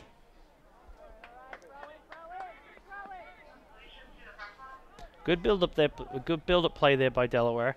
Somebody actually eventually got the foot on the ball and was able to take the time to connect the pass, which is usually what it takes when you're in a period of uh, the ball just bouncing around. Somebody from your team has got to put your foot, put the foot on the ball, has got to find that first pass, and from there you can build out uh, and start kind of getting back into the game. And now we're going to get a throw in from the Blue Hens. A long one into the box. Over the head of Sampson. Goes off the head. Now it's a shot from Severio, and it's knocked down. That was a big play. And now we have a two on one. The flag is up for Martine. It was a scoring opportunity. We'll see if the referee reaches into his pocket. It looks like he's going to. And Martine gets a yellow card there. Perot slow to get up, but it looks like he's walking it off. It Yeah. was a tough. It was a tough play. All three players collided around the ball at the same time. Yeah, it's just one of those that you have to take. Unfortunately, it looked like 23 was going to. I mean, I hate to say that it was intentional, but um, you know, a, a, a foul that was very needed for Delaware there, since uh, Ewell was really having a hard time uh, with that forward clipping at his heels and needed that support from that second defender to come across. So, um, although they give away the free kick, it was it was probably the better of two evils. So we'll see if Northeastern can take advantage now. Here's Fountain. Trying to get a real quick start. Now that one's played towards Perot as a header and a save. Borja Barbero with a huge save gets this crowd fired up. That's a quality head. It's a great ball into the box. It's a real strong header uh, towards goal. Uh, I don't think he could have done too much more with that, and a great save to keep it out of the net. And and now we're going to get a replay of that. Fountain coming in, a beautifully played ball. Perot gets ahead to it, and we just saw it. Barbero lunging to his left makes the play, and now here comes the corner in. It's a low ball, headed away by Philippe. Looks like it's going to travel out of bounds unless Delgado can get to it. And now it does go out of bounds, this time off Modav. So Barbero and the Blue Hens defense hold firm. MacArthur chips it along. No one back there.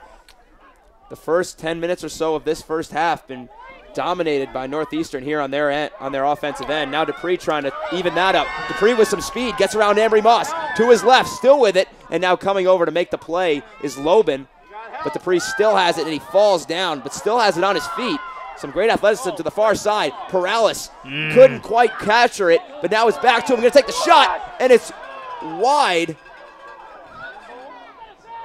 And it looks like we had a stoppage of play before the shot.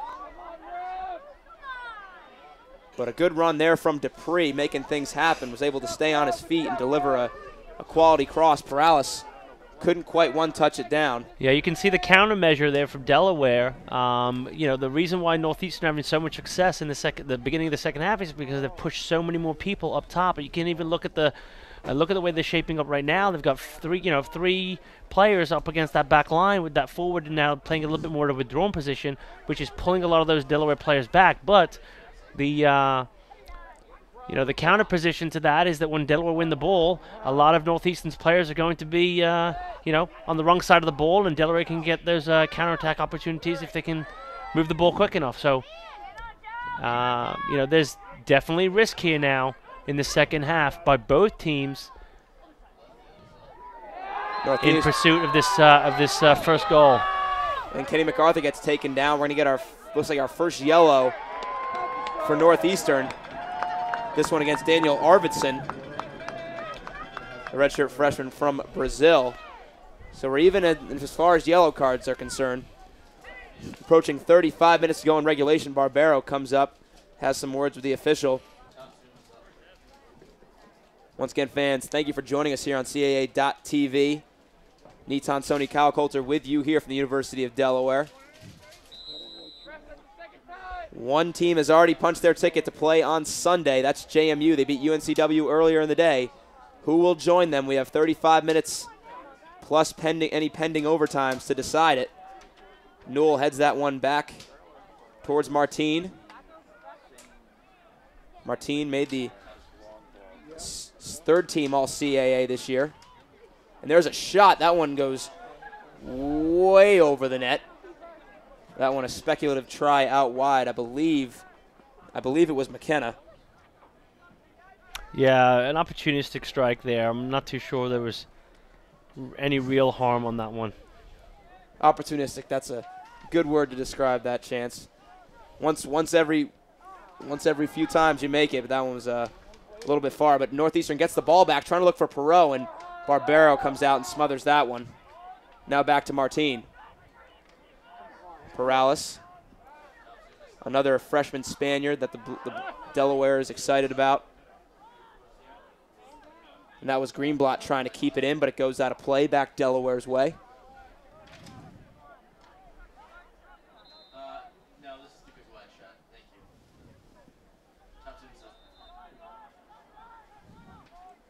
Now that ball's played into Delgado. Haven't really called his name much this second half. Sampson has to get it around the charging McKenna, plays it out wide to MacArthur. MacArthur still with it, taking his space up the left side, gets it into Dupree. Dupree trying to get it around Arvidsson, but has to go around him instead. Gets it to Perales. Dupree Oh, clearing nice. space for Delgado.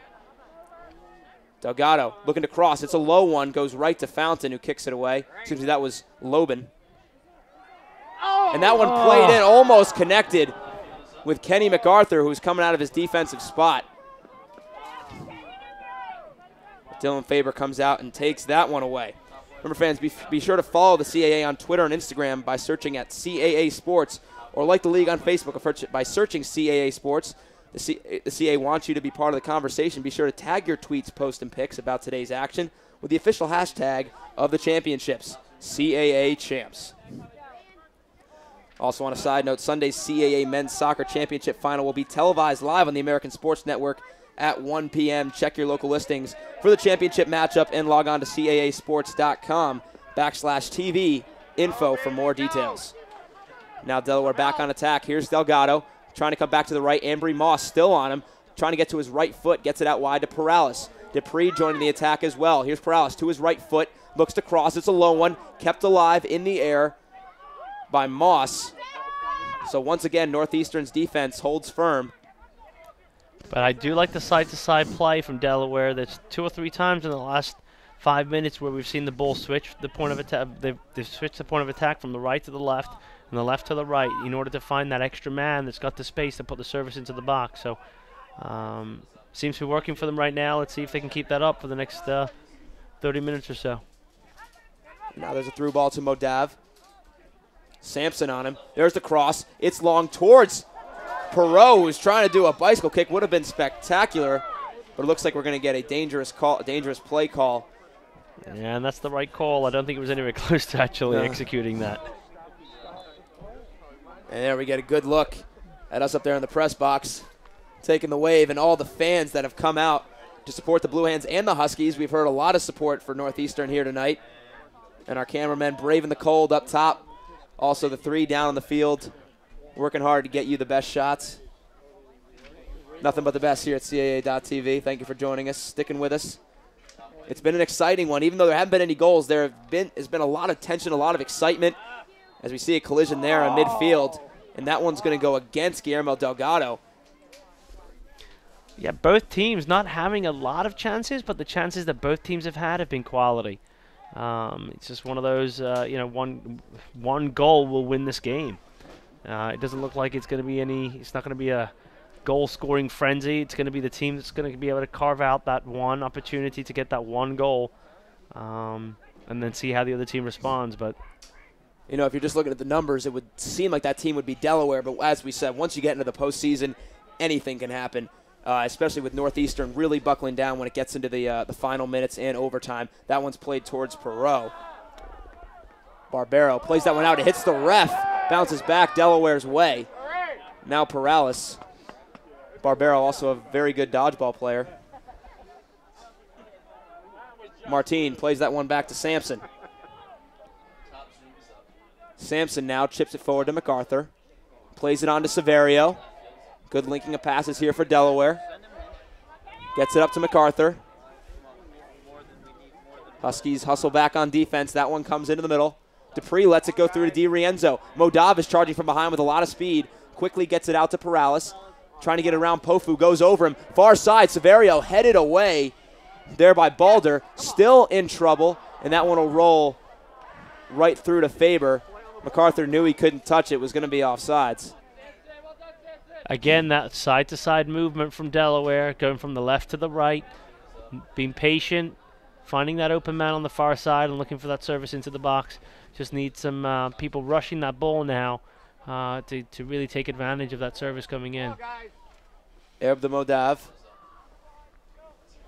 tried to link up with Greenblatt. Huskies still have the ball. Here's Fountain. Philippe comes forward. That one's played out to McKenna. Back to Fountain. Di Rienzo gets a foot to that one. Arvidsson plays it out wide. There's Pofu coming out of the back end. Pofu put his left foot on it. Took two Perot. A shot almost linked up with Perot on the back end. Got past Kenny MacArthur. And Perot smacks the ground as he gets up.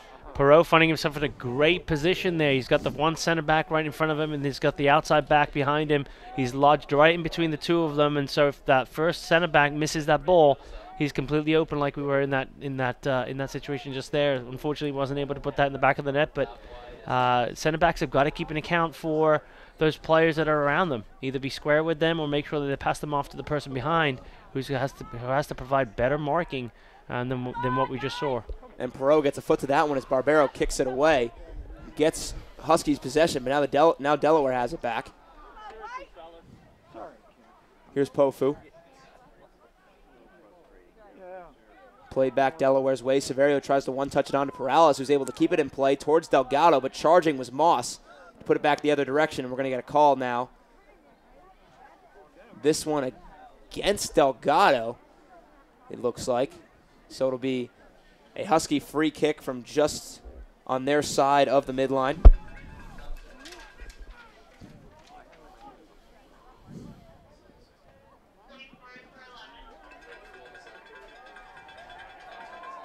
And now we're going to have a substitution coming in for the Huskies. We'll wait to see what number that is. Pofu looking to play it forward to McKenna. McKenna had a step on MacArthur who had to recover. Cross in the middle. Barbero has to come out and grab it before Perot was able to get to it. Yeah, great play there by Northeastern. Nice ball into the box, nice and low. Goalkeeper having to come in, come out and do some work there. Uh, you know, goalkeepers really don't like leaving their line. Um, you know, they, they kind of feel like they're in no man's land when they do that. But Borja being called to that in that situation right there and came up big. Dupree tried to chip it on Delgado, but now the ball goes back in the way of the Huskies. Most of the play been down this end of the this end of the pitch tonight. McKenna. Sampson. Now back to Perales, who takes it over the midline, tries to get up to Delgado. And now we're kind of seeing what was going on with the Huskies here with Delaware. The one striker up front is getting marked, and they're trying to play it up to him, and it's just not hasn't been working for Delaware so far in this second half. They need to just keep doing what they have been doing in the last 10 minutes. Don't change what's working.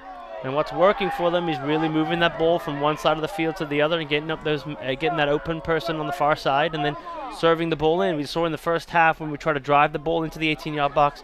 Uh, you know, Northeastern were up to the challenge. and They were stopping that ball, breaking up the play.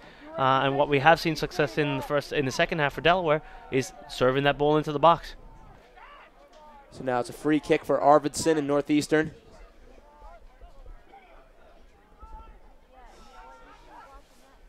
You've got Pofu and Perot up in the box, ready to make a run. Here's Arvidsson. That's a good ball. It's going towards Perot. Kyle Newell gets ahead to it, but it's backwards. Back to Perales. Now Fountain's going to take a shot. That one goes off of Philippe. And now Severio has it, trying to turn play. Gets it up to Delgado. He's got a one on seven. Dupree's joining him on the far side. Delgado with a lot of speed. Severio's coming from behind him. Tries to cross it over to Dupree. He's got him. Dupree's still with it, waiting for some help to come. Now Dupree with it to his left foot. Gets it into the middle, and Faber is right there. So good link up between Delgado and Dupree, but no other Blue Hen was able to get up there. But good defense there by Lobin to keep everything in front of him. Excuse me, that was uh, Harrison Balder here on the near side. Now under 25 to play in regulation. Sampson. Sampson still with it. Gets it past Modav. Philippe turns the ball back over. Now Modav again, and that one hmm. given right back to Dupree. Dupree cuts it back to his right. Still there. Now retreats, gets it back to Martine, who pushes up from the back end. Martine now to Perales. Nifty little flip up there to Martinez. tries to cross it, goes off the back of Fountain, and then goes out of play. It'll be a throw in for the Blue Hens from deep inside there, attacking third.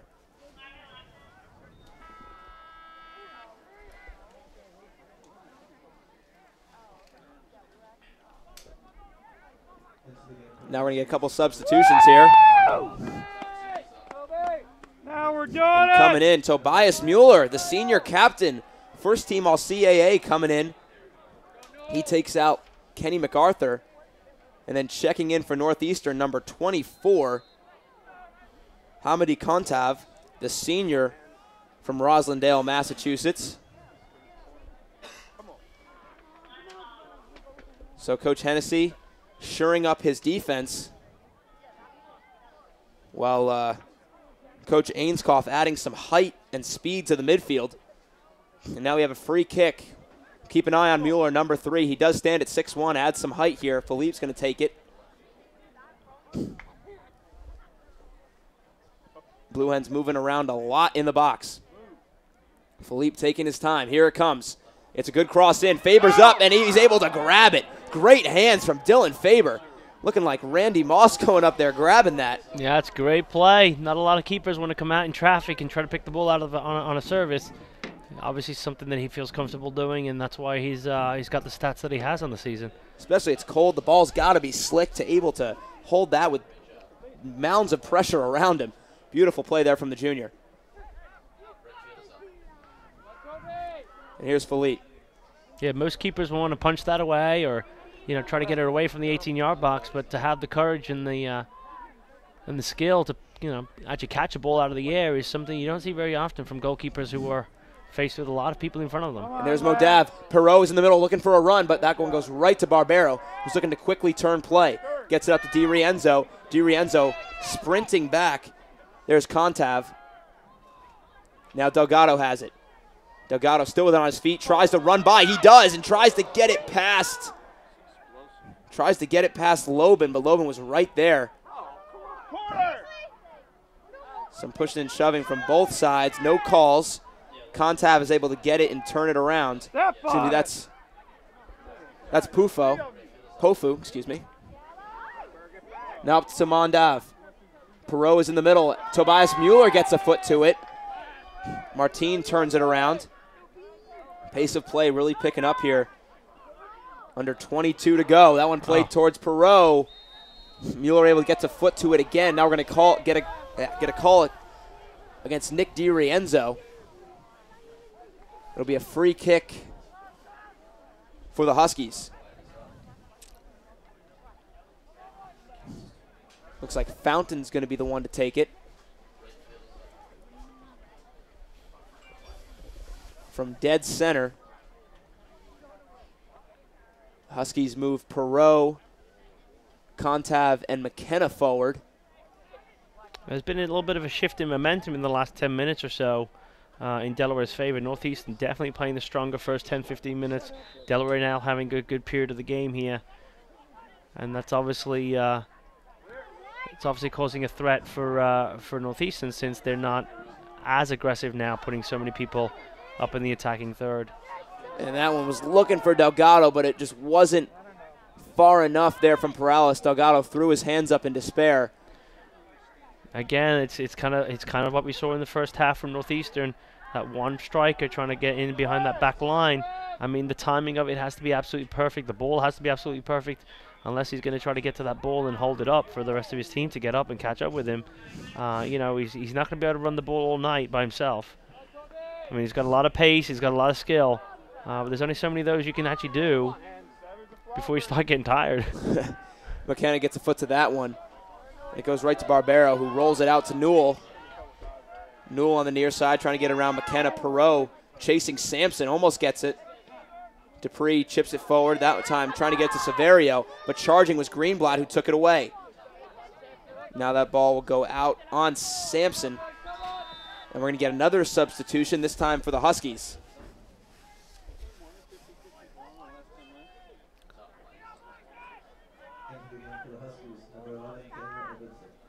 Be number 11, Daniel Arvidsson coming back in. He's going to take out Brad Fountain.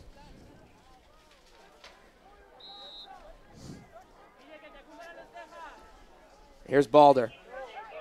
Throwing it in. You're going to say it went off Newell. Balder once again. McKenna was turned around, wasn't watching the play. Thibaut Philippe got ahead to it. Severio still with it, playing it forward. Delgado now has it. Plays it out wide to Perales, lets the attack set up. Modav coming back with some fire is able to stop that attack. Martine plays it along and a little miscommunication there offensively. We've seen it that growing here in the second half. Yeah, you can you can sense that in the players. I mean, you can see what, what they're trying to do. The frustration is going to continue to build uh, until something happens in the game, until there's a break in the game. Um, you got a lot of players out there that you know obviously want to want to get a positive outcome, and so as we get closer here, we're coming up to what 18 minutes. It's not uh, surprising that we got a couple of frustrated players that really want to see if they can carve a, uh, carve out an opportunity here in the last 20. And we have a blue hen down along the far side. Looking to see who it was. Looks like it's Carlos Perales. Been a physical last five minutes or so. We've seen a few cards this half. Tensions, I'm sure, mounting on the field as both teams don't want to see their season end here. Even though Delaware may have a slight possibility of getting in at large berth. Northeastern, with their record and their RPI, probably not. So their their shot is to win the CAA tournament. And that one just played back for Delaware.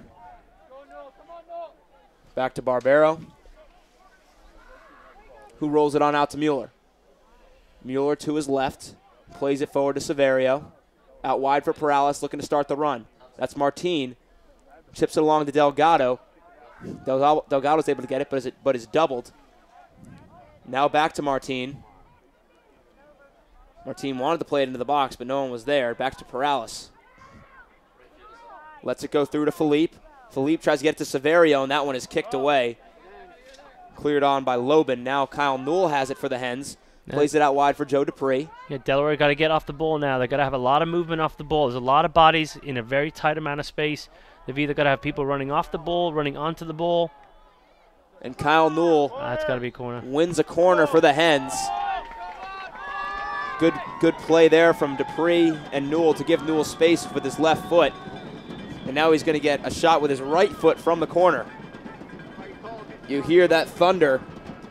The uh, storm has not moved in. That is the sound of uh, thousands of feet on the stands here. Home crowd urging the Blue Hens to put a goal in.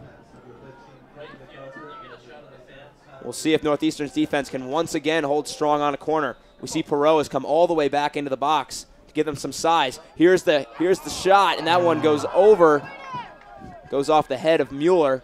Gives a thumbs up to Kyle Newell. But once again, no goal. Now Faber gets ready to kick it away.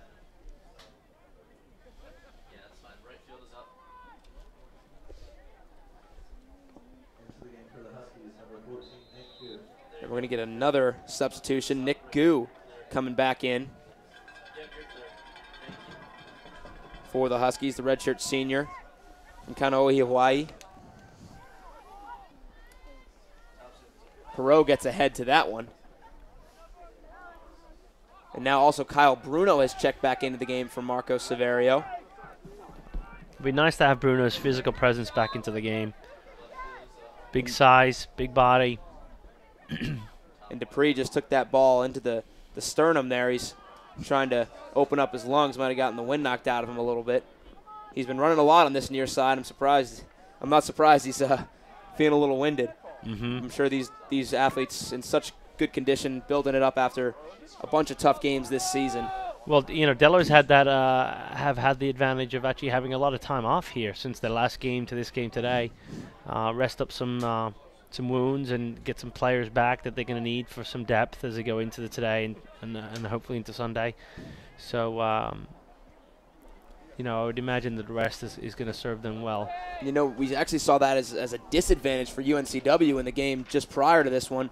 The it looks like the Seahawks looked like the Seahawks came out a little flat, and as that ball goes to Barbero, and whereas JMU they had been firing all cylinders, they went up to beat Hofstra. They were still in that game mentality, had never left from the regular season, and they they were able to put in two goals and win the game.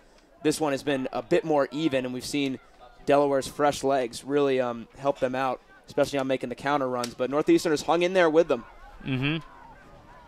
Yeah, I've seen it play both ways. I've seen it where the time off is definitely to your advantage, and I've seen it where the time off is definitely uh, a disadvantage. So uh, really just depends on how you manage that time, how the coaches feel like they want to give some time off to the players, just actually give them a mental break, or whether they want to practice the whole time, or uh, you just got to know the culture of your team and make the good decisions. And that was an offsides call against Northeastern, so the ball will go back to Delaware as we approach 13 minutes to go in regulation. Arvidsson heads that one forward, gets it to Martine, now up to Perales. Perales taken down by Arvidsson, no call, still with the Huskies. That one chipped along forward, looking for Goo. On Kyle Newell's back. Newell does a nice job shielding and has to just kick it away. Dupree now gets some speed, looking to play it up to Bruno, and that one goes in between both of them, goes right to Lobin. Played out wide. Martine gets a foot to that one. Yeah, now the back line from Delaware occupied by three or four Northeastern players. Um, so it's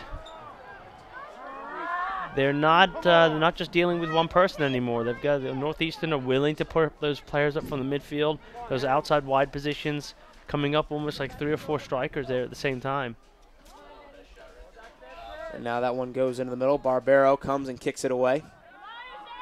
Goes right back to Koltov.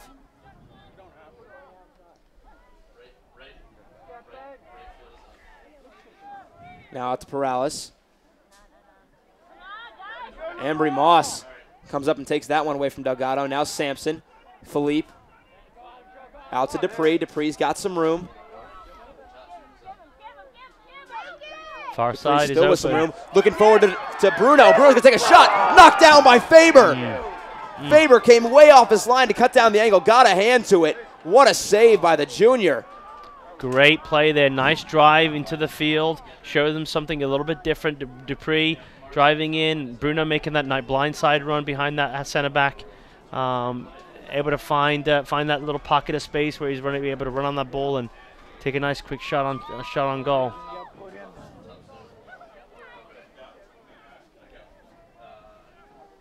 Now the ball played back in. Goes back to Barbero. Now wide to Mueller. Looking to clear it. Gets it up. Links up with Delgado. And we see it already, the presence of Kyle Bruno kind of Mhm. uh, really helping out Delgado in that front line. They've already had some chances, but now it's Northeastern's turn. Arvidsson gets it out wide to Mondav. Keeps it in. Tries to get around Martin, and that one goes off of Ignacio Martin. And we will have a replay of that Dylan Faber save just now. See the ball link up. Bruno got a left foot to it, but there was Faber's left hand. It might it might have actually hit his head. And it was, uh, regardless of what body part it hit, it was a great save, a great play by Faber. And to keep this game knotted at zero now, the Huskies with a chance.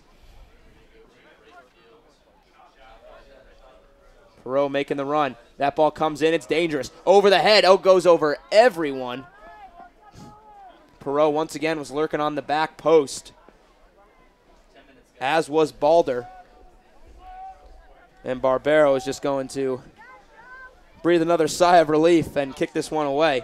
And remember, fans, the brand new CAA.TV, which will stream all of this weekend's men's soccer action, is now free and mobile friendly. Don't miss any minute of the match by pointing your browser to CAA.TV.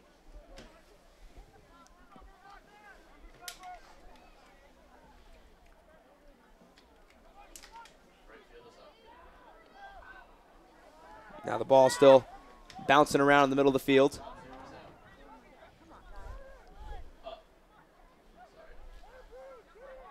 Moldav gets it back.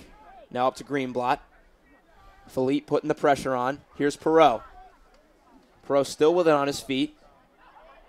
The CAA Rookie of the Year had his opportunities today. Had a great header earlier in the half, and Barbero ran into another top player in the CAA, Borja Barbero. and here's Joe Dupree. Now the timing on this looks really good. Here's Delgado to his started, right. Started in a good spot. Mm. He gets bumped off the ball by Arvidsson. He's going to get a call. Wow. The ref maybe thought Arvidsson came in a little too hard there. Bumped Delgado off the ball, and it's going to be a free kick from about seven or eight yards outside the box. And right when Perales picked up the ball, Delgado went over and grabbed it, and he go, I'm taking this one. Yeah, I don't think there was any doubt in who's going to take this one. But nice, nice timing there from Delaware, where the uh, the you know, position of the ball in relation to the forwards was close enough that when you're running off the ball, you can actually make something good happen from it. So, uh, versus what we've been seeing in the last two or three opportunities from Delaware, where the forward is so far away and the midfielder's having to play a 30, 40 yard ball just to get to him. So we could see a shot here from Delgado. and we do, that one's low. One hopper up to Faber was a good height and distance, but just didn't have the right the right uh, angle. Did not test Faber left or right. Went right at Yeah, the at junior best, keeper. Yeah, at best you're hoping that bobbles off him and kind of you know lands right in front for somebody to tap it in. But this keeper's not shown any weaknesses so far. He's been good in the air. He's been good on the ground. Ah, Both keepers really been Yeah. putting on a show. If you're a Yeah, young goalie sure. in the stands or watching this game, you are getting a clinic here from Faber and Barbero. Dupree lost that one forward, trying to get it to Bruno. Bruno trying to use his size, but right there was Ambry Moss. And that was at Pofu as well. That one played up towards Perot. Borja Barbero's coming out. He Ooh. Toes the line real close. like a wide receiver, was able to, I guess, get a toe drag, keep his foot in the box. He's got to be careful. And that one back to Delgado. Delgado's got some room to his left foot. Was he going to take a shot? He keeps it. Now still trying to keep it, and he Ah. gets the corner. No, they're going to point. They're going to say it was a goal kick. Went off Delgado last. And it'll be a goal kick. Great hustle there from Lobin to get back and force Delgado to double clutch. Yeah, Delgado's got some great speed. He's causing some problems with uh, when he's one on one with these outside with these uh, center backs. Um, unfortunately, he's a little too fast for his own team uh, to be able to get up there and actually help him. So Now Fountain checks back in, replacing Kontav. Faber boots that one away. We're under seven. This game has been flying by. That much time remaining to see who will join JMU at 1 p.m. at this very stadium on Sunday. JMU looking to get their first CAA title since 2001. And now Northeastern mounting an attack. Here's Goo, crosses in the middle, and that one gets a head to it. Barbero pokes, punches it away. That's the Martine was the one who got the head to it, but. Huskies still have the ball. That's the only thing he could do there. He was uh, he had a couple people in front of him. A lunging punch is all he really had as an option. Goo's cross causing some real problems there in the box, but the Blue Hens are able to stave off the attack. We are now under six. Ball goes back to Pofu. Gets it into Moss. Now up, looking for Perot. And it looks like Philippe got caught got caught up with Perot there when they both went up for the ball. He landed awkwardly and he's down. Looks like the ref doesn't see it. And now he does, stops play. He's up. He looks like he's going to try to hobble it off. And we'll see if we get a stoppage of play. But with four minutes and 20 seconds, with five minutes and 20 seconds remaining, Neetan, what do you, what do you, what are going through the coaches' minds right now? What kind of strategies are they putting in to try to get that, that scoring goal? Are they just trying to like, hey, hold out till overtime? Yeah, you, you don't want to do anything silly right now. You got five minutes left. You don't want to take any real big risks. You want to just ride out the next five minutes. Uh, try to make it. You know, I mean, in a game like this, it's the team that makes the first mistake that ends up losing the game, and you don't want to be that team that makes the mistake. So, um, I would be I would be surprised if anybody's really going to be doing anything crazy in the next five minutes here to try to uh, clinch the game. Now the Huskies looking to make an attack. Philippe seems to have shaken off. He was gripping his left thigh. Might have just been a, a bruise, which I'm sure right now in the cold, every little nick, every bump, every bruise hurts just a little bit more. But I'm sure the adrenaline's pumping right now. In the last minute minutes, they don't need shake it off real quick. Here's here's Mueller takes it over the midfield line. No one coming to challenge him. Plays it up to Delgado. Delgado looks to get it out wide. Lobin forced an errant pass. And now Moss with it. Moss with some great speed out of the back end. Still with it now. Plays it out wide, looking for Fountain. Newell comes to play. Now out to Goo. Goo trying to get around Newell and Sampson. Ball played back, now chipped up to Fountain. Kenny MacArthur is there. MacArthur is just going to shield him. Fountain was able to keep it in bounds. MacArthur is able to turn it the other way.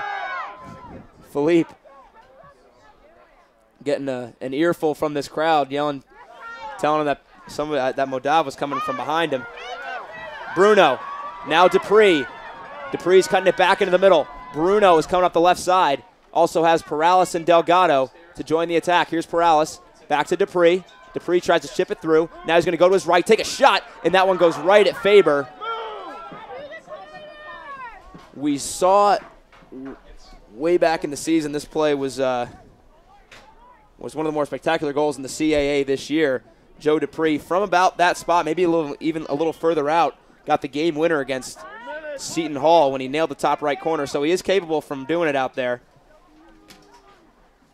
Yeah, he really didn't have too many options other than that shot. Um, you know, he had the three, the, the the forwards that were up there with him, Delgado, uh, Bruno. They were kind of up on the back line, stationary. If he's not going to move and create an option for him, he's really got not not not too many options left. And now the Huskies have it back with Arvidsson. Fountain now. Philippe coming over to play. Tries to loft forward to Perot. That one a little far for the freshman to get to. We are now under three minutes remaining in regulation here at the University of Delaware. If you are tuning in here on CAA.tv, you have seen a great one. Neither team able, able to break down the opposing defense. They've, all, they've each had their chances. We've seen great saves, great shots. Just haven't seen any goals yet. What do the last two minutes and 30 seconds have in store for us? Here's Dupree. Working on Goo. Gonna try to chip it over, get it to Bruno, but it, Lobin's head was there. Big play there from the defender. Now to Philippe. Philippe's gonna cross it in. Once again, Lobin is there to deflect it. And then Lobin finally finishes the job now, but it goes right back out to Sampson. Mm. And Sampson had no one on the end of that run. And now we are approaching two minutes remaining in regulation.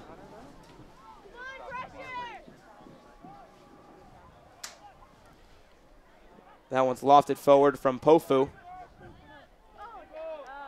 Philippe gets a foot swip. It goes all the way back to. That one goes all the way back to, Bol- to Balder, who then plays it forward. Kyle Newell. Oh. Last touch there by Greenblatt, who's favoring that right leg a little bit. Here's a throw in from Newell, trying to get it to Dupree. That one's knocked down by Goo, but right back out of place will be another throw in from Newell. One minute and 25 seconds remaining. Does either team have a last minute stunner in their bones? Here's Newell. Lofts it forward. Bruno heads it on. Balder. Greenblatt now for the Huskies. Arvidsson gets it up. And now Perales is there. That one's out wide. Greenblatt can't keep it, loses his footing. One minute remaining. Tabo Philippe lofts it forward, couldn't connect with Kyle Bruno. Hits off Dupree's head, and now back towards Perot. Kyle Newell has it now, gets it into Kenny MacArthur. MacArthur, some nice footwork, gets Fountain to jump. Chips it forward, once again a little bit short for Guillermo Delgado, but the offsides flag is up. 30 seconds now. Out wide to Pofu. Pofu kicks it on ahead. Mueller coming over to try to stop Modav, and that one goes out of play. We'll see what the Oh. line judge calls it. and He's Oh. going to call it a corner. Oh, Northeastern rushes forward. 15 seconds to go. They push everyone up. The Blue Hens are packed in the box. Here we go. 10 seconds. Here it comes. There's the ball. Barbero comes out and punches it out. Five seconds remaining now. Goo has it. He's going to take a shot, and it goes off Kyle Newell's head, and that's how this regulation will end. A furious charge there from Northeastern. Yeah, that would've- we have free soccer here on CAA.tv. Wow. Yeah, there's not, not going to be too many happy people on the field if that had gone in because uh, from where I was looking and from the angle shot that I can see on the camera view here, it was uh, it looked like it come off a northeastern uh, northeastern body last. So as we catch our breath, we're going to take a real quick break, but don't go anywhere. We have five minutes until the start of overtime here at the University of Delaware. Don't go anywhere.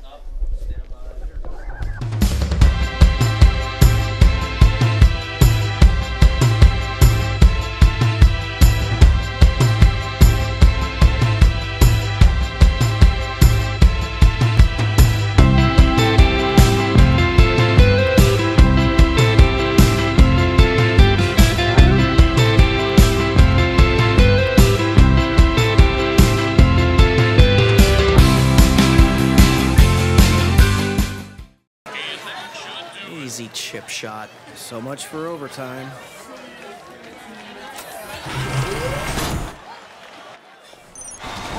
The kick is no good. Unbelievable. We're going to overtime.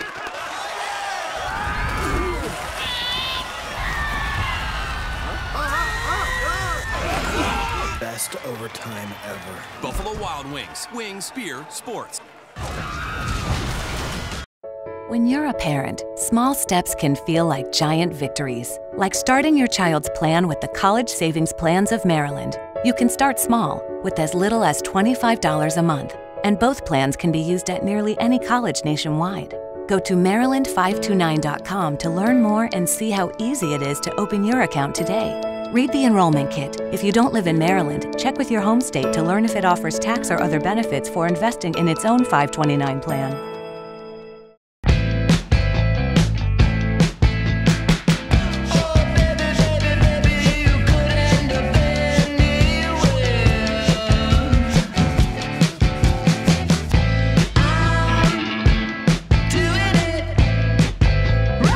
Suit up for the CEO while earning your MBA.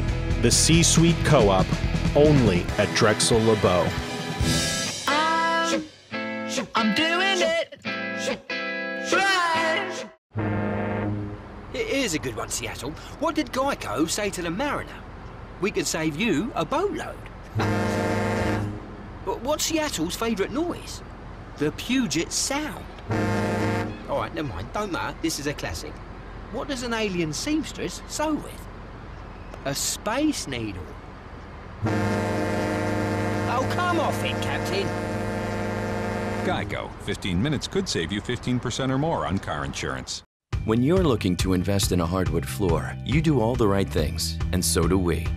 We go straight to the mill, so you get the highest quality flooring at the lowest possible price. We offer great brands like Bellawood, which is backed by a transferable 100 year warranty. Over 2 million families have come to trust our flooring and the hardwood experts who help them realize their dream. Let us help with yours. Lumber Liquidators, hardwood floors for less.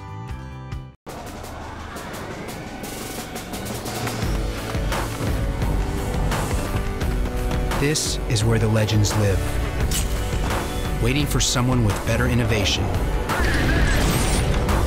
From the brand that reinvented the t shirt comes the Under Armour Speedform Apollo. This is our rocket ship. There's no end to the classic gems and quirky delights you'll find in Baltimore. Everything we're famous for, plus a boatload of surprises. From Inner Harbor fun to hip and historic, quaint and artsy neighborhoods. There's always something new, hot, and cool to do in Baltimore. The road to the Final Four begins this spring in Baltimore with the thrilling CAA Men's Basketball Championship, March 6th through 9th at the Royal Farms Arena. Make your plans to hoop it up at baltimore.org. How about that? Perfect timing. We are underway here in overtime. Hey, overtime of the Super Bowl Game 7, the World Series. That's nothing compared to CAA Championship Soccer overtime, Delaware, Northeastern.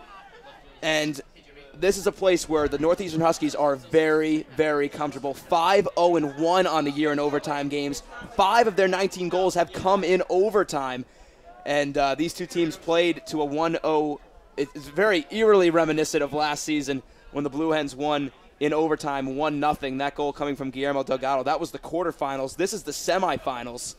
And Delaware 2 1 and 1 in overtime as well. So both teams uh, very comfortable in crunch time. That ball's up. Barbero grabs that one out of the air. The rules for overtime 10 minutes. And that one goes off the back of Perot and right back to Modav. That one crossed in and goes over everyone. And Newell kicks it away. It is golden goal, so the first goal will win and move on to the championship against JMU. Once again, Nitan Sony, Kyle Coulter with you here from the University of Delaware. Yeah, somebody might need to tell Borja he can take an extra, you know, 10 seconds here. He doesn't have to be playing as quick as he was in the first half or second half. Uh, you know, he's got to wait for his team to kind of get up. He's got to be able to give him possession of the ball. He can't just be playing faster than they are, otherwise, uh, you're going to see the kind of same uh, mistake as uh, as what just happened. So I've seen more than a few not top tens on SportsCenter where goalies kick it off one of their own players or opposing player and it goes in the goal. So Borja avoided avoided that one there. But now we're back in the middle of the field with the Huskies. Goo kicks it forward, trying to get it up to Perot. Now Mueller has it. Mueller blast it forward, looking for Delgado. The offsides flag is up. And you can see Northeastern shaping up like they did in the beginning of the second half. Um, they got bodies up against that back line, keeping the back four of Delaware busy, keeping them uh, occupied, and then you've got uh, you know a lot of those midfielders willing to pick up the ball and uh, hold it up and, and try to feed those players that are there. So uh, you know, obviously, why why mess with something that's already been working? You'd hope the same for Delaware, where they're trying to get that ball from one side to the other, switch a point of attack, and uh, get those services into the box if they're if they're there, and if not, drive the ball in and and uh, try to carve yourself out a, an opportunity with a, a blindside run or a, an overlapping run or some sort. So. And here is Delgado trying to cut it back to the middle. He gets taken down, and we're going to get the call.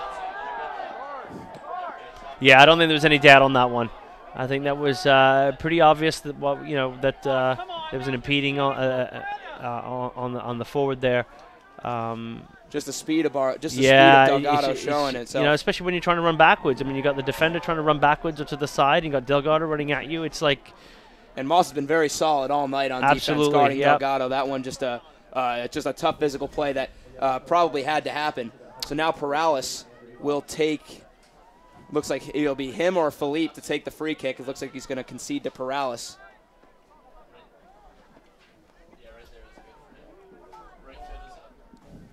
The wall is set. Faber directing, directing traffic there. We see MacArthur up in the box as well. Delgado, Bruno, Newell, Sampson lurking in the back end. Here it comes. It's going to be a shot. Oh!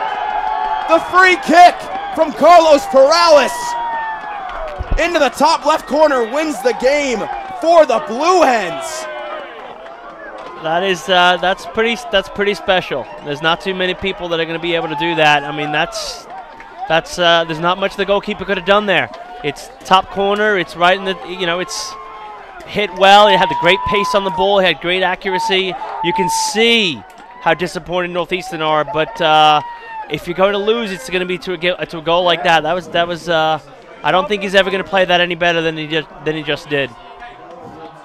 So celebrate Delaware. You are playing on your home turf on Sunday for the CAA championship. We just got a quick look at the replay. We'll try to get that one back for you because it was definitely a special play. Here it is into the top left corner. Even special looking at it the second time. Some of the Northeastern players still down in the box couldn't believe what they just saw.